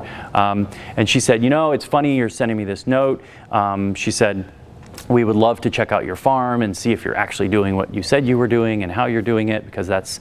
Um, she said we're all about transparency and traceability. So her whole thing is U.S.-based fish farms traceable. And and I said okay. So I said, but there's no way because we realized that we really can't sell our fish to a distributor, which is sort of how I thought of her. Um, but she's breaking that whole model. She's taking a fillet in a piece of parchment paper, which is what that is, cut in a heart, get it? Love the wild. You fold that over and it fits the fillet. And then she adds her three sauces to it that are frozen. And that's all that, that you see on that tray is in one box. So the millennial walks into the, you know, the high-end grocery store and wants dinner, wants to know where it came from, wants it to taste good, and wants it to be easy. And she can go in and grab that one box, and it's, I don't know, it's like a six to seven ounce filet, right? We know that really well. Um, we'll talk about that in a minute. But they can go in and grab that, and it's now it's a meal. It's not, a, it's not by the pound. They're not buying it by the pound. But do the math on this. 9 to $11, depending on the store, for a meal seems high, but you know, once I get my rice and my veggies and it was easy and I'm home and I have a really good piece of fish and it was and it has the sauce and I don't have to think about it. By the way, this goes directly from the freezer into the oven for 20 minutes and it's done, which I didn't even know that you can cook fish that way. That changed my whole perspective on things because I have four kids and planning meals is tough and if we forget, I can pull fish out, put it in the oven and it's done in 20 minutes and it's great. Um, so she's on to something, and if you do the math, it's between 27 and $32 a pound for a piece of frozen fish from your farm. Now, is she seeing that? No. Am I seeing that? No. Um, Whole Foods is seeing that, but they got it so high that she can now afford to pay me $9 a pound, wholesale essentially. Um, So we went through the rigmarole. She looked at how we were doing everything, and, and we finally came to terms on that, plus shipping and, you know, can we do it? And talked to these guys, and Derek said no, everybody else said yes. And so we outvoted, we outvoted him, and, and, and now Derek has, you know, what I think is a pretty well-oiled machine of getting these, because by the way, that box doesn't change size, uh, and fish vary in size. So um, anyway, that, that, that's sort of the story of how did somebody with no following and no social, because you may say, oh, I don't have anybody, or, or I have 500 followers, which is great. Um, or I have, I'm Urban Organics, I have 40,000 followers. If you're not converting those 40,000 followers, what's it, what's the point? Um, but anyway, um, I've been consuming Urban Organics posts for a long time, and I, just, I like I like aquaponics and I, you know, I enjoy looking at it. It has to, has to give you value. You can't just push something down somebody's throat. So that's, that's our story about that one. And this is one startup, you know, that, that is a, a, a really sharp woman out of Boulder, Colorado who was tired of her cubicle and wanted to, she was into fish and, and figured out a model that um, we hope works. I mean, we're in, we're in the infancy of it. And, you know, we're, um, you know, we're, we're, we're shipping a pallet to her um, it's, it's now in uh, Target, which is pretty cool. Target's getting in the fish game, uh, the high-end fish game, and and and, and so. Um, you know that that's that's just the point of that whole story is are we riding off into the sunset and rolling in in dough no we're losing our ass right now between you know between time and effort and but this is a long game right? This is a how do we change the industry? How do we use these social media platforms? How do we um, get get the story out there? Because by the way I got an email from Jacqueline Claudia the founder just on Monday which she doesn't email little peons like me. Like she's she's put it this way. She pitched her idea to a VC firm to get her funding and they passed is a good story. They passed and they said, you know, one of the people that invests in our venture capital firm um, is really into this whole save the ocean stuff. So you might want to talk to him. His name's Leonardo DiCaprio. And she was like, oh, okay, you know. So they, they, these, these people set it up and she's like, oh, I'm going to go meet this guy. I'm going to meet his people, I'm sure. And, and she had to go out to LA and she goes into this conference room and sure as shit, Leonardo's there with his feet up on the table and he's like, tell me why the why, why I give why I give a crap about you know fish farming, you know, and she sort of lost it and composed herself, and then she she must have done a great job because he realized that you know he could invest in this company, and he he was more about the mission of saving the ocean and saving it from illegal farming and you know raping the floor of the ocean and all, all of that stuff and, and, and all the things that you know we read about. Um, but he he was he was invested in that, you know, emotionally. So um, he bought into her. So, um, you know, I, I, I just think if we sit here and we think that those platforms are for our kids and it's just for wasting time on the phone, you're kidding yourself. You're absolutely kidding yourself. And I don't care if you're um, Bob trying to sell aerators to, you know, somebody saving the whales. He told the story about, you know, he said, you know, I don't know why we were going out to save the whales, but you know, and we got we got 1,500 likes from people that probably aren't crazy about the fact that we're in the fish farming business. But guess what? He just got exposure to people that he thought hated him. So that worked. I mean, it, and, and, that is that that happens all day, every day, and it's not going away. So. Um, even if you think it's a futile effort, I would encourage you to be taking pictures of your operation, to be posting it to you know anything that you think makes sense and, and putting it out there. And I, I would love to be able to follow fellow people and tell that story and get it to her and have her push it out and all of a sudden we have a voice on a really large scale of this product that then we're not in these turf wars, right? Where we're thinking there's like just a few customers in the in the tri-state, and we have to, you know, uh, tri-state. That's from being Ohio, Kentucky, Indiana. I don't know what you call it, but in the region, uh, you know, and, and we, we, we, can't share anything with anybody. There's a there's a, a growing population that's kind of starting with Abby's age and going up from there that is aware of what's going on and the food and the health and the traceability and where is my food coming from. And if you're not in that conversation, I think we die. No, no question. I think we die. So um, that's my rant on that. Um, this is a quote I like. Who, who knows who Gary Vee is? Gary Vaynerchuk. He's, uh, you, sh you, should, you should look him up. He's a, he's a great story, and, and he's sort of the guru in this space. And you know, you'll you'll listen to his his YouTube stuff and say, oh, that's where he was ripping off those concepts from. But he this is a proven you know, um, a guy who grew up from nothing, literally nothing, um, and, and he has a lot of inspirational videos he puts out. He puts out content, content, content all the time. He's always recording what he's doing, um, and he's and he's really exposed me to what is happening in the social media world, and that you have to be involved. I don't care if you're selling baseball hats or farm fish. You, you got to be doing it. Um, so this kind of comes full circle to you know think about um, you, you know, I love what he says, and I've heard this before. You know, oh, the, the social media game is for the millennials or the kids or the people that are on it all the time that grew up. Guess what you have that they don't have, most of you? Experience. Life experience. You, you know what life is all about. I mean, you can tell a story and you live through stuff. Those are more valuable than you know, somebody just starting an Instagram account and calling themselves an entrepreneur and, you know, not having any experience doing anything. So um, I think I think there's, you know, you're, you're undervaluing your life's experience. We just heard a few stories um, on that note.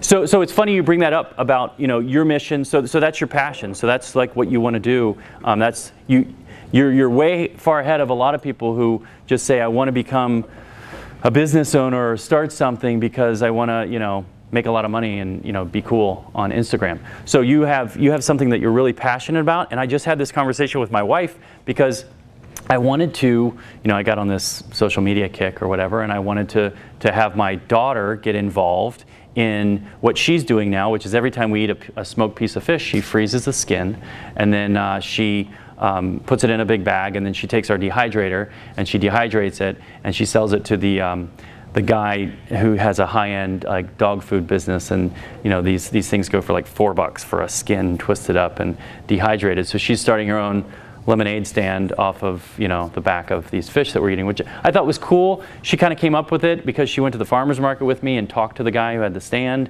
and started following him. And i said well you know you should start videotaping what you're doing and just just even if it's just to document it. Like you know just get the phone out and start. And my wife like went nuts. I mean, she was like, why are you getting her on like social media and putting her out on the internet and that's weird and creepy and disgusting and and I was like look she can either because it's happening like right I'm not gonna like she's not gonna not have a phone like what do you know so I can either have her do something productive with her time and build like a business or you know, like get involved in our little business and, you know, uh, not be, because when her friends come over, they want to play video games or they want to get, you know, spend a lot of time on, sorry, Abby, Musical.ly or Emily and Evelyn. I'm like, well, they're gonna get, they're gonna consume it. It's no different. What, what did our parents tell us? Scoot back from the TV. Too close to the TV. TV's gonna ruin your eyes. Well, did we all throw our TVs out? No. We just, you know, so I would rather her focus her efforts on something that is related to God forbid, making a buck or you know learning something or you know paying some of her own way for crying out loud, something that you know earning her keep or whatever. I mean, and, and, then my wife's like, well, what? That just builds this false sense of self-esteem, and they get these likes, and the, and then that's weird. And and I said, what did you do in third, fourth, fifth, sixth, seventh, eighth grade? Like when you were in the little club or you tried to get the Guess jeans or what were you trying to do? You were trying to get likes. Like this is ha- like this is no different than we always have been doing. It's just gone digital. So don't, you know, don't fight it, but redirect it. So I didn't mean to go off on a tangent, but that is that's a great example of yes, get them off of the BS or the rabbit hole they shouldn't be going down or the exposure to you know, whatever you don't want them exposed to because there's, you know, so many terrible things on the internet, but um, redirect that, that energy. So that's really cool. So you have a passion for that, and I've seen that. You know, I don't know much about aquaponics business models. I know we've, we've heard from some folks that have gotten huge partners involved and they've got a lot of exposure and they're generating income, but, you know, there's, I think there's, I think there's room in that space for the whole point, which is small and local and educational. I think I think there's money to be made in a business there. I don't I don't I don't pretend to know how that works, but it just feels like that is you know a good way to go because you know having a massive system where now you have to distribute food everywhere long distances seems kind of counterintuitive, but um, that's cool. That's very cool. Sorry about the T-shirt, but um, it's a T-shirt. Um, okay, so that's that's I think enough of me uh, ranting about um, about things. So Q and A. How are we? Uh, three. Oh, perfect. Three minutes. So um, any questions for our folks or me or um, what else we're doing? Yes. You talk about, oh, sorry. Oh, it's okay. I'm sorry. Go ahead. In the formation of your team, Yeah. and did it form naturally? Does someone have the idea, and then does the team have the equal investment risk taking? Are they taking the profits? How's, how's that?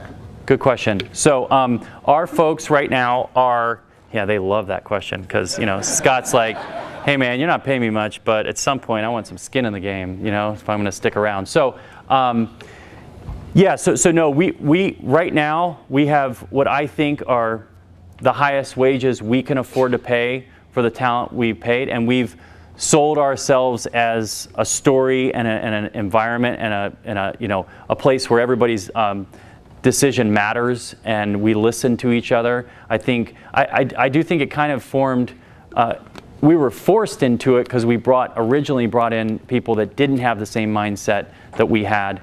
Um, and so we were all miserable. And it was, yeah. I guess what I'm My wife and I, uh, you know, we, we, we've saved a little bit of money and we also have a couple rental properties that generate a little income. We're not rich.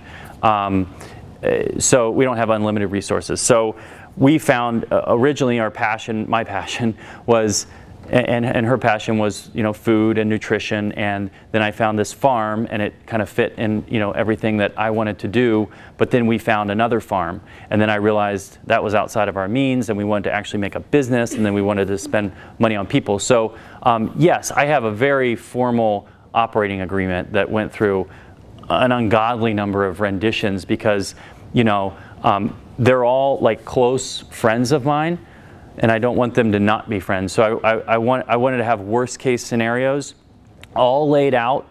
Um, if this thing completely craps the bed, then what does that look like? I mean, who, you know, how, do we have assets that we can sell to reimburse people? And essentially, you know, the, the folks that I got involved, you know, put up some money, but it was, it was more, um, enough, I think I was telling somebody earlier this, it was, it was enough money for them financially that if that all went away, we'd still be friends.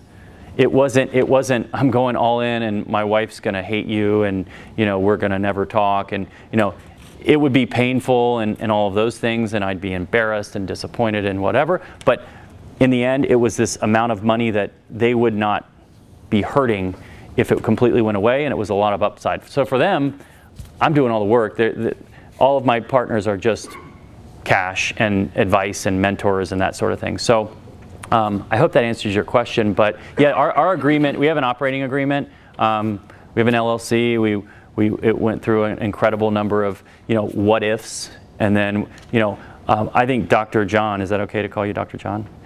Uh, had, uh, like, his, the content in, the content in his, uh, like, I'll say it again.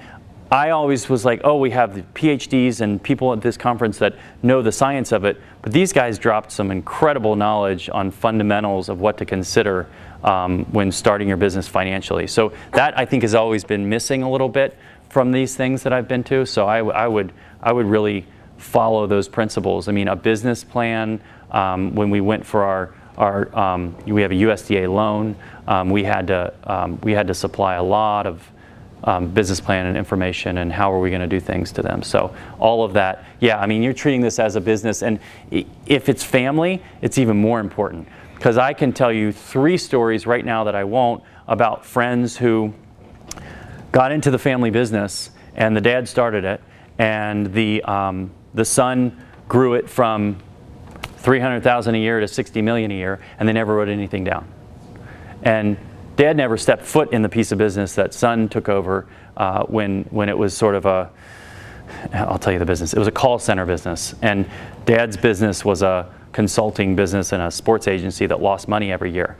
And in the basement, they had four or five, you know, cubicles. And the son graduated from college, and he said, "Dad, what's that all about?" And he said, "Oh, it's a call center business. It doesn't make any money." Uh, he said, "I think I'll, I'll, I'll give it a shot." Um, so he went down there and built relationships with the people, and then sold contracts to American Express and Discover, and you know built it to a 60 million dollar business. And just three months ago, um, Dad called a meeting with Son, and Dad brought Mom, and Dad brought Dad's attorney, and Dad and Son are really close, by the way. This is not a strained relationship, and he sat down and uh, he said, "Hey, I just want you to know, you know, Mom and I aren't going to be around forever. Um, you know, uh, you know, when when we die, we've worked this out. Like your brother and sister and you, brother and sister have not even interned in this business. More or less set foot in there. Nothing." And he said, "When we die, it's going to go a third, a third, a third. And he's like, "What's going to go a third, a third, a third? Mind you, this guy has an airplane now, and he flies all over the. I mean, he's grew this into a massive business and they never wrote anything down there was no agreement there was nothing in place it's dad's business it's a problem it's a problem it's a very strained relationship as you can imagine now so yes i would say i don't care if you're going to do aquaponics in your basement and you're going to you know feed your neighbors maybe even more important to have an agreement because those are people you're you know you're close with so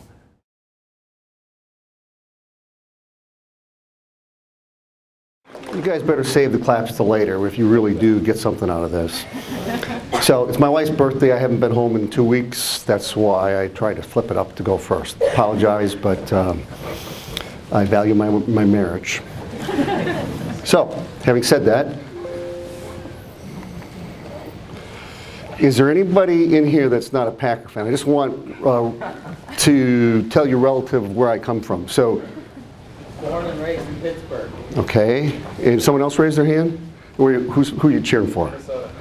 So you guys over there, I'll do this later when I'll talk a lot slower, okay? and for the Minnesota fan, if you look at those trophies, those are Lombardi trophies. You get them when you win the Super Bowl. Hey, they had one, they had one this year. You, not, you don't get them for participation, I'm just saying, okay? All right, now we got that over with. An alternate title could be What the hell have I learned the past last 30 plus years within this industry as it relates to convincing people to buy stuff we offer so we can all make money. So, uh, what qualifies me to give this? I'm the guy on the, on the way left, but 30 years within the industry. I've been on at least 1,500 farms throughout the world. I'm a former director of sales and marketing for Purina Ring and Feeds in the eastern United States, and I'm current director of sales and marketing for Kasco Marine located in Prescott, Wisconsin. So that itself doesn't mean anything, but I've made a lot of mistakes, and I've learned from those mistakes. And I've been on a lot of farms. You know, so managing expectations as relates to your farms. To give you a real life example last week, and I was at Aquaculture America. I came home on Thursday, and um, flight got stuck in Minneapolis. It's four hours late. So I'm supposed to go up to the American Birkebeiner ski the race that day. Uh, it's starting the next morning, and I decided to go up the next morning. Well, uh, eight inches of snow later, I arrived in time to wait 45 minutes at a bus that carried me to the start line. And I didn't have my bib yet, and so I'm running around to get my bib. I got to the start gate, and the gun went off. Now, about halfway through the race, thinking, well, I, I was going to try to finish first in my age group. And I managed my expectations, just said, you know, it's a pretty day, it's a good race, I'm just going to calm down and, and let it be. So, what did I learn? You know, just plan better for the future. You know, don't you know, take a flight like a day before you're going to do a race, and that could be translated into business as well. I didn't finish first, I didn't finish last, and I had, and I had a good time. So 15.5, does anybody know what that number is? That number is the per capita consumption of fish in the United States, seafood. And it's been stuck there for a long time. In fact, it was a little bit higher than that um, uh, not too long ago. And our job is to change that number, is to make it go up. So 15.5 pounds of fish are annually consumed, or seafood are annually consumed by U.S. consumers. And beef is a lot more than that. You know, so marketing or sleuthing for sales, that's what this is all about. Sometimes the lines between sales and marketing are vague, and so I like to define them both. Marketing is activities identifying customers' needs, product and service development, advertising, and generate interest in what you have to offer or sell. Sales is the activity focused on converting prospects to actual paying customers or convincing people to buy. The management process through which goods and services move from concept to customers using the four Ps product, price, place, and promotional strategy. Put a little effort into market, put a little effort into marketing or customers research. This saves you from wasting time talking to people that only want the cheapest deal. And we're not here for the cheapest deal. We're here for the best deal. Then there's a difference. Value. So uh, the governor was on um, Star Prairie Trout Farm this um, early summer, and he signed a bill. That's a fantastic thing. I snapped a picture. I just happened to focus with our aerator in the background, and we use it in an ad right now. So, selling, what a broad topic. Sales is more science than art. 70% of the buying experience takes place prior to the sale. We're all selling something. Like for me, the permission was for me to, to sell to my wife that I could come here on her birthday. You know, she, she got it as long as I'm home so we can celebrate this afternoon. Improve yourself, which is the first step to improving relationships. Move out of your comfort zone, commit to success. Marketing yourself, your company, to your company and your employees. So Marketing is a noun, the action of bus or business of promoting and selling products or services, including market research and advertising. Verb, advertise and promote. This is what people want today. Locally grown, sustainable, which I have a hard time defining at times. Carbon footprint, I hear it all the time, carbon footprint. Organic, they want to hear organic. They want to hear fresh. They want to hear healthy over and over and over again. This is what the new generation wants to hear, and this is what they want in the products that they buy. What the customers want, words that attract. So what words attract people to buy things to, to manage the expectations of the previous slide? Pure, artesian, wholesome, locally grown, fresh, healthy, honest. Honest is, is an experience. It's, you don't mislabel. You tell people the truth. I challenge every waitress that I go to in a restaurant, where did this fish come from? You know, if they tell me, you know, the wild cherry snapper was a farm-raised fish, uh, I'm going to know that that's not the truth. The reverse is that a lot of times salmon is a confusing topic. If you go to the Pacific Northwest, and they think that you want the answer to be wild because they're anti-farmed in the northwestern United States for many reasons, and I can get into those later. And when they say the wrong answer, I challenge to get in and talk to the chef because that's where the information is coming from. The chef tells the people what to sell in the background and they tell the story to tell the servers. And so I challenge you to go into a restaurant that has a product that you know is farm raised and tell them the advantages of it because that's the start of the story. That's where people get misinformation. They need to be telling the truth. So, tell them a story. There was a whole session in the World Aquaculture meeting last, last week on telling your story. People want the story. The story is what sells stuff. You know, storytelling, every company has a story. Truth, employing local growers, workers. Branding is your story. Websites are okay. They're not what they used to be. Social media, conversation, advertising, marketing get the biggest results. Do not bash your competition. So I don't want you to go bashing wild fish, even though we have ammunition to we can do that. But fish as a whole is a good product because omega-3 amino acid. And so we just have to support the industry as a whole. We don't bash other people. But you can brand it with local and produce in the USA, which is good stuff. You know, people have a mis or they have a perceived negative connotation with imported products. Some of it's good, some of it's bad, some of it you don't know about. And so that's to everyone's advantage in the room here that if we buy it in the United States, we are playing by different rules that other countries don't necessarily play by. Why U.S. farm raised continued? His it has a consistent supply, healthy omega-3 amino acids. Fish farmers by necessity are good environmental stewards, and if they weren't, they would be out of business because they're polluting the water that the fish have to grow in. Uh, when is the last time you walked into a restaurant and asked for a wild pig or a wild cow or a wild chicken, you know? You know, this wild fish stuff has got to go. Farmers are not strong enough to defend themselves against the larger special interest groups. There are so many people out there that are going after farmers for all of the wrong reasons. You know, why U.S. farm raised uh, uh, continued. There's over 1.2 billion in Farmgate at this point, so that employs a lot of people. Over 7 billion to the U.S. economy, provides 250,000 jobs nationally. The trade step deficit is still over $10 billion to seafood. HACCP is just a measure of protection. COOL is country of origin labeling. Contaminants free.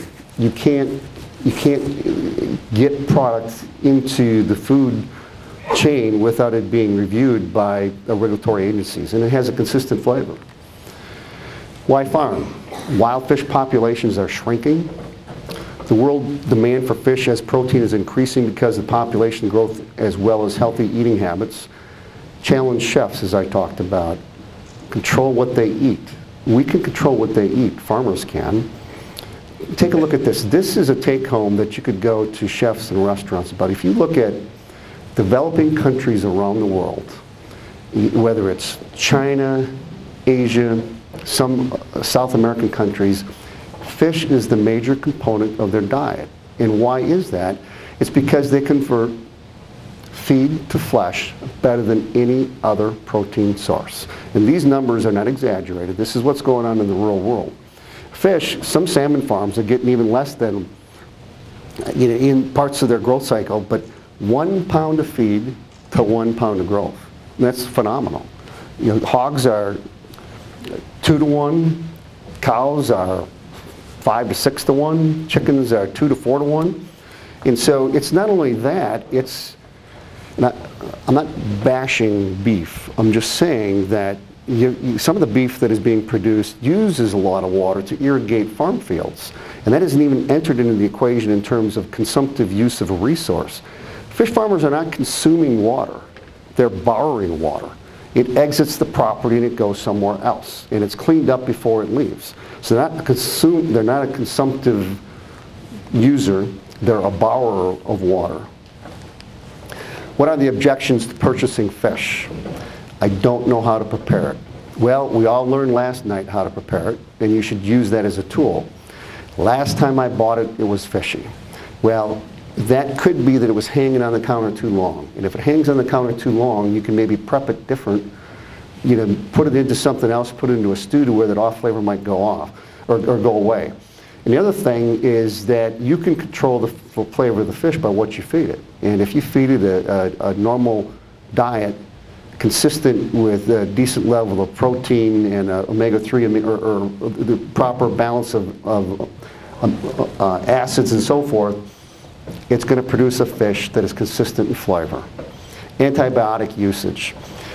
In the United States, the, there are four legal antibiotics that are used. And a farmer, the last thing that he wants to do is use an antibiotic because it's costly. And the last thing he wants to do is have these fish develop a genetic resistance to it. And so antibiotic use is sparingly used within the industry. If we look at the other industries that I had up before, they're using a heck of, they have a heck of a lot more that they can use. And you can, you can get by without using antibiotics. And uh, in fact, a lot of the recirculating systems don't use antibiotics and use that to your advantage. Genetic pollution. This one really ruffles my feathers. And I'm going to use the example. Has anyone know, heard of the cage that allowed fish to escape up in Washington State in the last um, uh, few months. So the story of Cooke Aquaculture, the, the, the, farm that bought the farm from somebody else, applied for a permit to redo this cage because they knew that it was in ill repair. Well, they weren't getting the permit. The regulatory agencies were dragging their feet. They dragged it for quite a while, and in the meantime, it broke, the fish got out.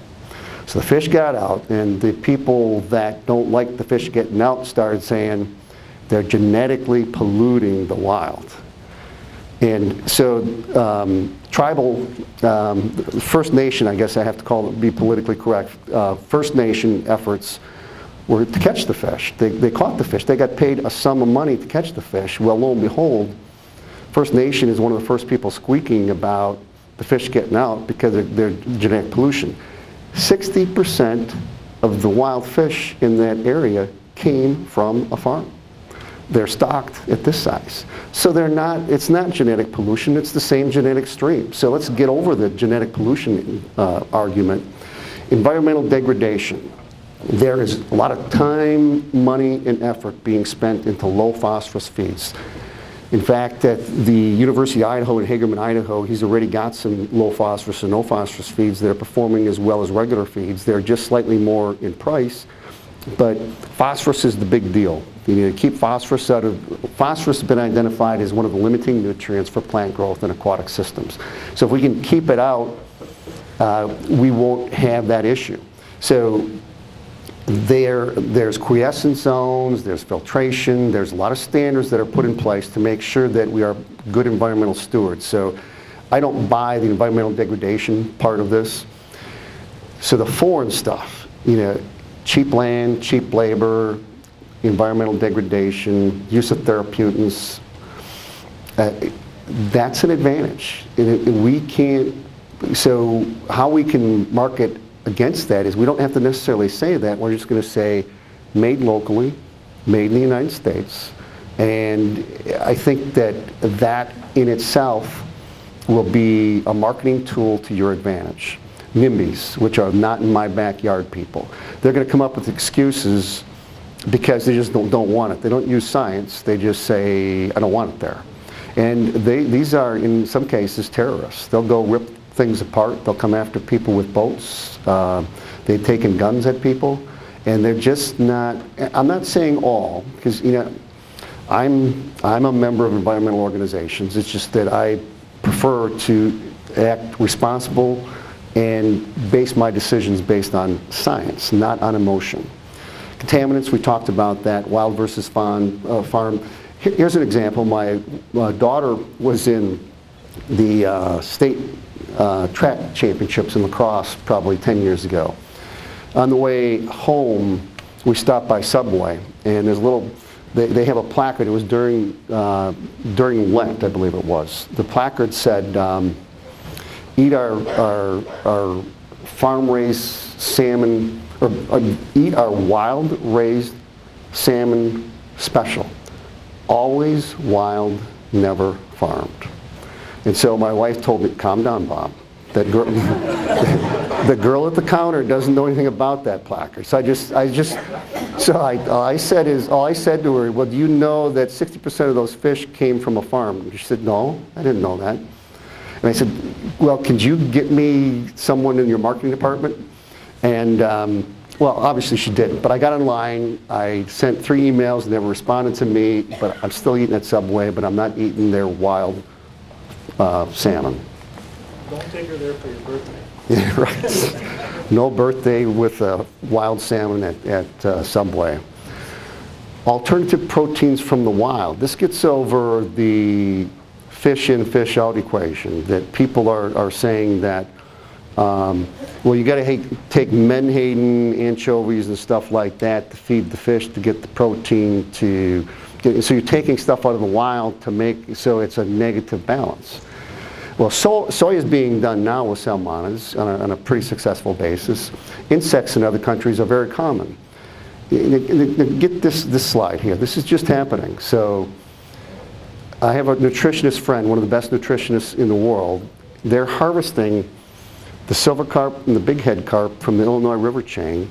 They're producing fish meal, and they're now marketing it to people that are making fish feed. And uh, on a side note, I challenge anyone in this room, write this down. Fish, carp hunters from Illinois. You'll get some pretty entertaining videos. Like this guy water skiing behind a boat with these guys coming on. Just it's it's uh, it's an interesting video. That's all I'm going to say. I wouldn't do this at home, or I'm not advising you to do what these guys do. But I'll back up one here. So cost per unit gain with this protein is better than normal fish meal. And so I think there's big things here, unless they have such a demand that they harvest all the fish that are there, but they've got a long way to go. They're doing it by fyke net right now, which is just putting a net out and having nets get trapped in there, and it's labor intensive. But with the cost of labor and all the production costs, the cost per unit gain, what that means is the cost of that feed produces a fish cheaper than uh, alternative protein sources. Okay, on to slogans and billboards, catchy phrases people remember.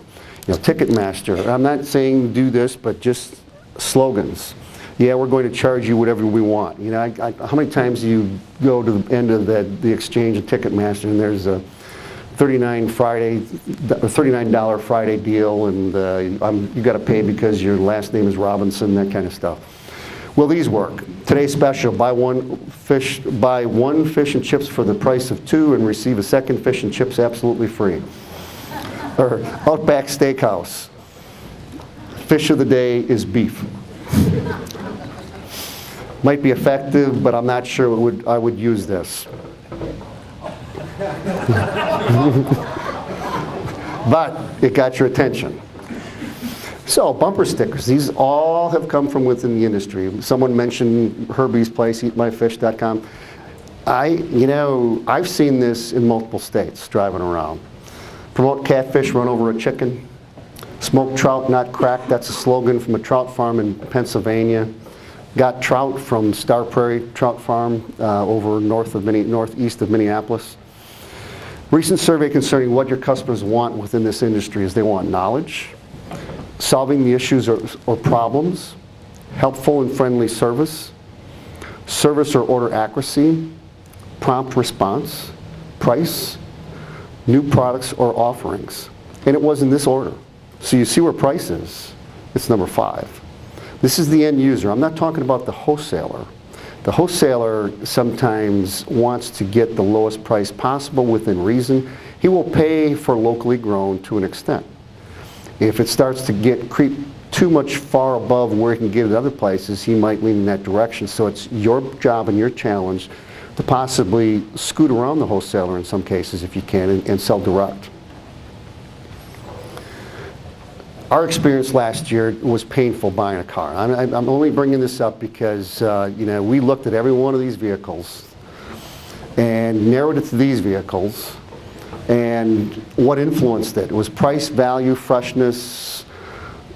Are we getting a good deal? You know, freshness was the, the everything new there. All the, the anti-swerve, the, the cruise control stuff. Uh, once all of the before mentioned are answered. We are focusing on the deal. The deal incorporates all the marketing and sales points used to make the decision. What it boils down to is what is right for us. And I can tell you price was not the number one determining factor. And we bought what my, my wife wanted. It wasn't the car I wanted, but it's what the wife wanted. so, so the message is, I'm sorry? Yeah. Each of you to think about what is right for your customers and use that as a marketing advantage. As painful as a startup is, you need to start small.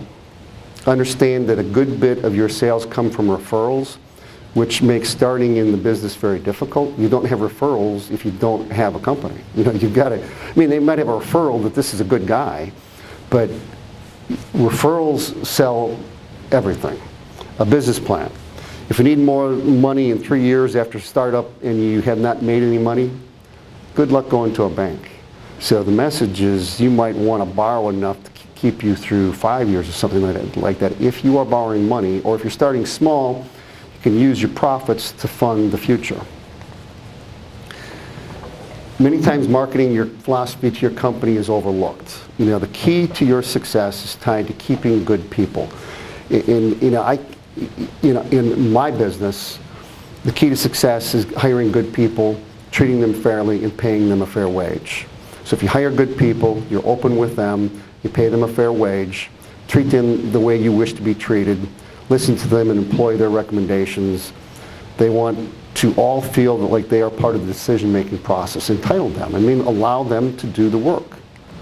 Um, if you not treat them fair in their minds, they could become your competition.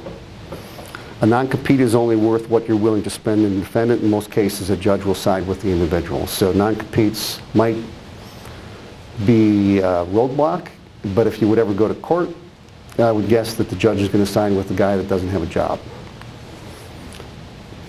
Employers, do you care about your employees? When is the last time you had a, a team dinner or outing? Is it often? Do you give your employees the opportunity to be challenged? Are you allowing them to make mistakes as they are challenged? They need to know you have your back. Begin to trust them with the little things and grow to trust them with the more and more bigger tasks. Everyone wants to be trustworthy. When was the last time you asked your team members how they, their personal or family life was going? Team members who have family or personal, just relate to them. That's the bottom line. I want to share with you a final exam my fisheries management class at the University of Wisconsin Stevens Point. Uh, it was a mock interview. I came in a suit. The guy behind me came in jeans. We both were called out for the way we were dressed. It didn't matter because it was a test, basically. Upon reflection, it was part of the interview to see how well we would hold up under fire. Uh, you know, how well we're dressed can be translated into how are you perceived by your customers, and that answer is different for each customer that you have. Dress is image, accountability, professionalism, and accomplishing the job. Market research. Surveys or questionnaires. Um, there's many ways to uh, survey people about what they want or customer satisfaction. It's not often that I'll go through the grocery store, uh, Subway, I know there's a little negative with Subway, I'm getting over it. Um, uh, and uh, who one, we're a gas station. If you complete this survey, you're going to get something 5% off your next order, or 5 bucks towards the purchase of a Big Mac or something. Just a way that you can kind of account for how well you're doing. Plan in place to promote new offerings. If you got something new, you've got to promote it. If you don't, it's just going to stay there. Promos, promos will give away. I'm not talking about baseball caps. I've got, if people want baseball caps, come home with me. I've got like 350 in a box. Branding your identity. Who are you? What size, what size product do they want? What, what packaging do they want? You have to monitor the competition. Differentiate yourself from the competition without bashing them. Customer management programs, and I, I, this might be above what's going on in here, but we use Salesforce. It's just a way of us to identify everybody that's ever bought from us. We can categorize them, and we can email them. We can put them in a category of these are the schmucks. These are the guys we got to be really careful with. To, these are our best customers, or these are the people that buy consistently, and I want uh, I want to engage with them. You know, market research, cost versus selling price. This is one of the more important slides that I'm putting out today. You have to understand what the cost of production is, what the selling price is, and if there's any room in there. And if it's flipped, it's like, why don't you just uh, go be the Walmart greeter? you know, so power is a big thing in some cases. Regulations. You know, in some states, it's 30% or more of cost of production. Mortality, what does it cost to deliver the product? What are your labor costs? The cost to purchase the system. Feed is a high item.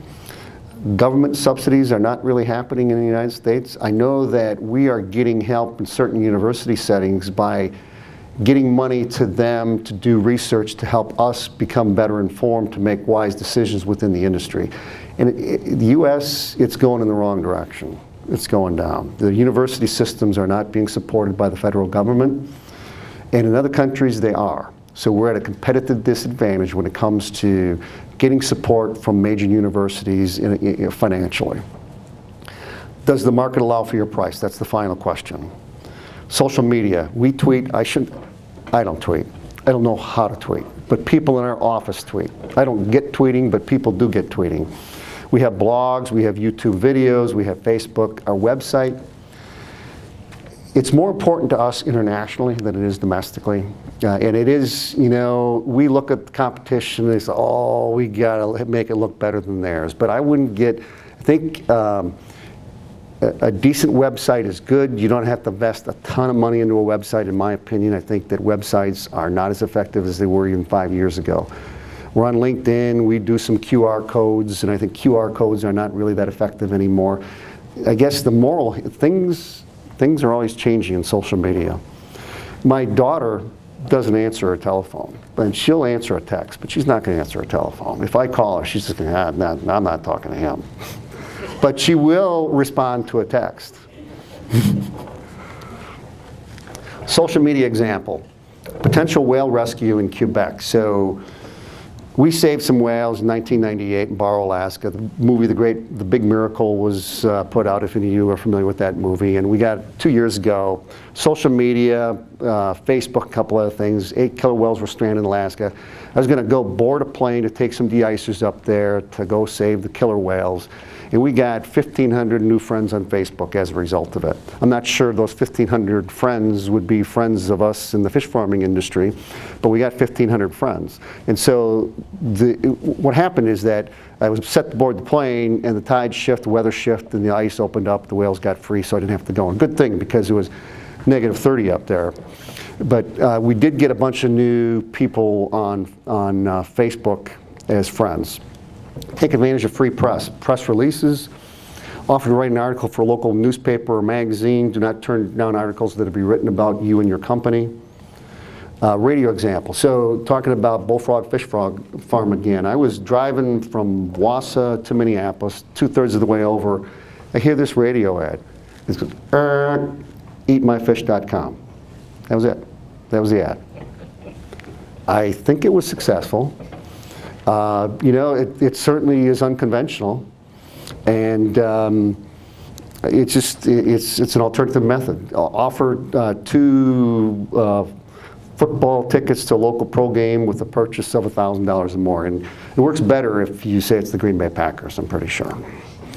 Sell product or service at a reduced rate that will put in a high, you can put in a high profile location. You know, like high profile location could be the governor's office or whatever, or the, the so we did a walk on the hill, and I'll get to that later uh, in, in, a couple more slides. And so email addresses and quarterly newsletters, you know, keeping your people informed or your customers and networking with other organizations. So I speak every three, four months, partly because my sister is responsible for getting speakers for the local optimists, and she has people back out a lot, and I'm like a stopgap. But anyway, I'm there and I'm, I'm telling a story about Kasco Marine.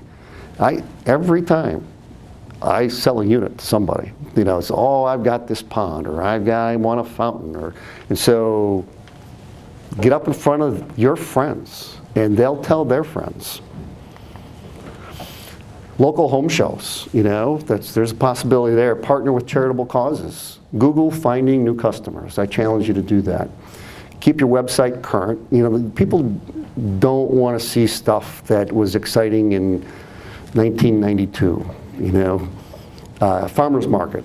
My local farmers market, I buy from two guys that sell fish, and I buy. If I buy from one, I'm buying from the other. I'm supporting them, and uh, they're there every week, and I'm buying from them every week that I'm there. Become a local expert. You know, radio, TV, garden writers, blah blah blah. Speak at Optimist, as I said before. So the National Aquaculture Association, this isn't necessarily commercial, but it is the single most powerful organization here to help you as farmers. Uh, we've done walks in Congress, uh, we know the issues, we move the needle, and this is homework here too.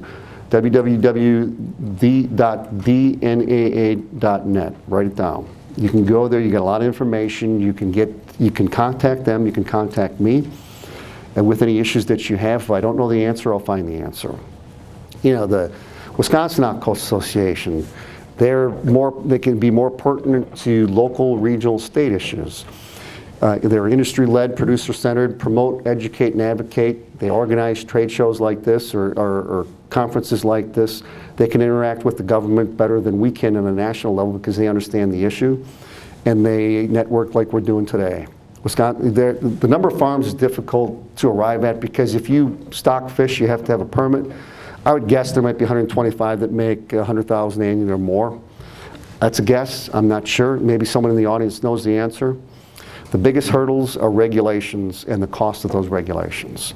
Biggest successes, keeping farms running in spite of regulations and the downturn in the economy, diversification. So just to kind of a run through the state of different farms that I've been on.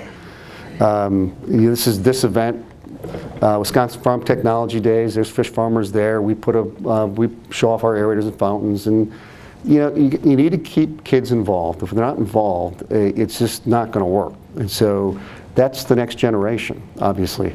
Scott Walker, love him or hate him, and I'm not, I'm, uh, I'm not saying either thing. I'm saying is that he was very supportive of this industry in that he um, signed a walleye initi- initiative to get millions of dollars to farmers here to cooperatively raise walleye to stock into the waters of the state at a bigger size. If they're stocking this way, they're getting chomped on.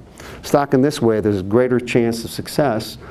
And he tied it to tourism, that people are going to spend more money in this state if they know that there's more fish to catch. I think it was a fantastic thing, and I think it's highly successful. Herbie, Bullfrog, Growing Power, Will Allen. So some of the value of certain aquaculture systems isn't necessarily uh, measured in dollars. Mean, Will Allen's a pretty cool guy. He's, um, he's a former Milwaukee Buck, and that he goes after abandoned inner city buildings. He does aquaponics. He gets a lot of stuff donated. He helps troubled kids, gets them out of crime. And so, you know, how could there be a better value than that? Is to teaching them a trait that they can use to better themselves and to clean up neighborhoods by giving them a purpose. And so how do you put a dollar value on that? You can't. I mean, it's, it's incredible. And it's working. Uh, so great story here. In a, mean, real quickly, in the 40s, they were a mink farm. And when World War II broke out, they were feeding a little bit of the trout that they grew to the minks. Well, people weren't buying minks anymore because they didn't have money. So they switched to raising fish, and they've been doing it ever since. Great story. Tim was here yesterday. I don't see him in the crowd today. You know, stuff you can buy. Yeah, these are all from fish farms here. Uh, this is caviar, sturgeon caviar. This is all state stuff here, coming from this state. Marketing waste. You got Peter's dog food on the right, on the right, yeah. And then this is um, um, fertilizer on the left. Aquaponics, Nelson and Pade, one of the national leading uh, uh, people in the state cooperatively with Chris Hartleb, U University of Wisconsin, Stevens Point. Superior Fresh, they've got a pretty cool story to tell. Oh, I mean, I guess I like this so much I put the slide in here twice. Yeah, this is 20 years ago. I, I cooked some fish for Freedom High School. They had a, one of the earlier indoor intensive research systems. And so they didn't have enough fish to feed everybody, so I brought some extra stuff. We filleted up theirs and, um, and um, fed anyone that wanted to come for Harvest Day. Beaver Springs and the Dells, Star Prairie, Hunger Task Force, uh, they do some stuff with um, troubled youth as well in Milwaukee, and they have support from Harley Davidson and a few other, I think it's Briggs and Stratton, a few other people. Uh, you know, teaching kids, including kids at risk of skill, great stuff there. Products, products. Each of these places has a story. Tell your story and move the 15.5 to 20 per capita. That's it. That's all I got.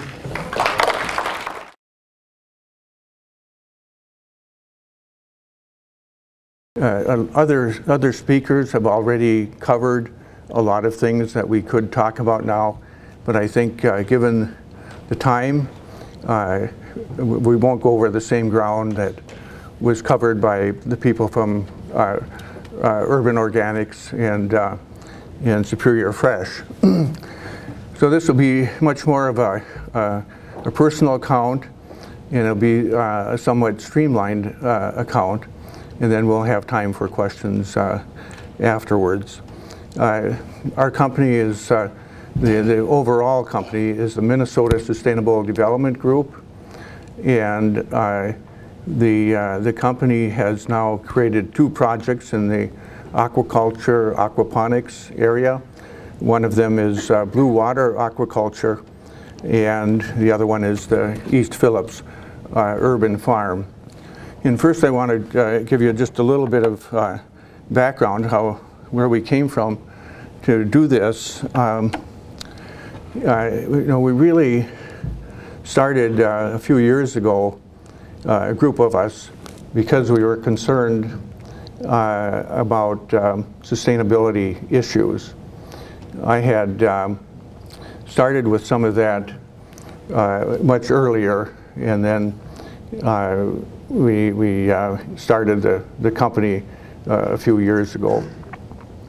But the, the one thing I wanted to emphasize as sort of a preface to the rest of this is uh, I believe that we are at a point where we are going to see some serious food security issues.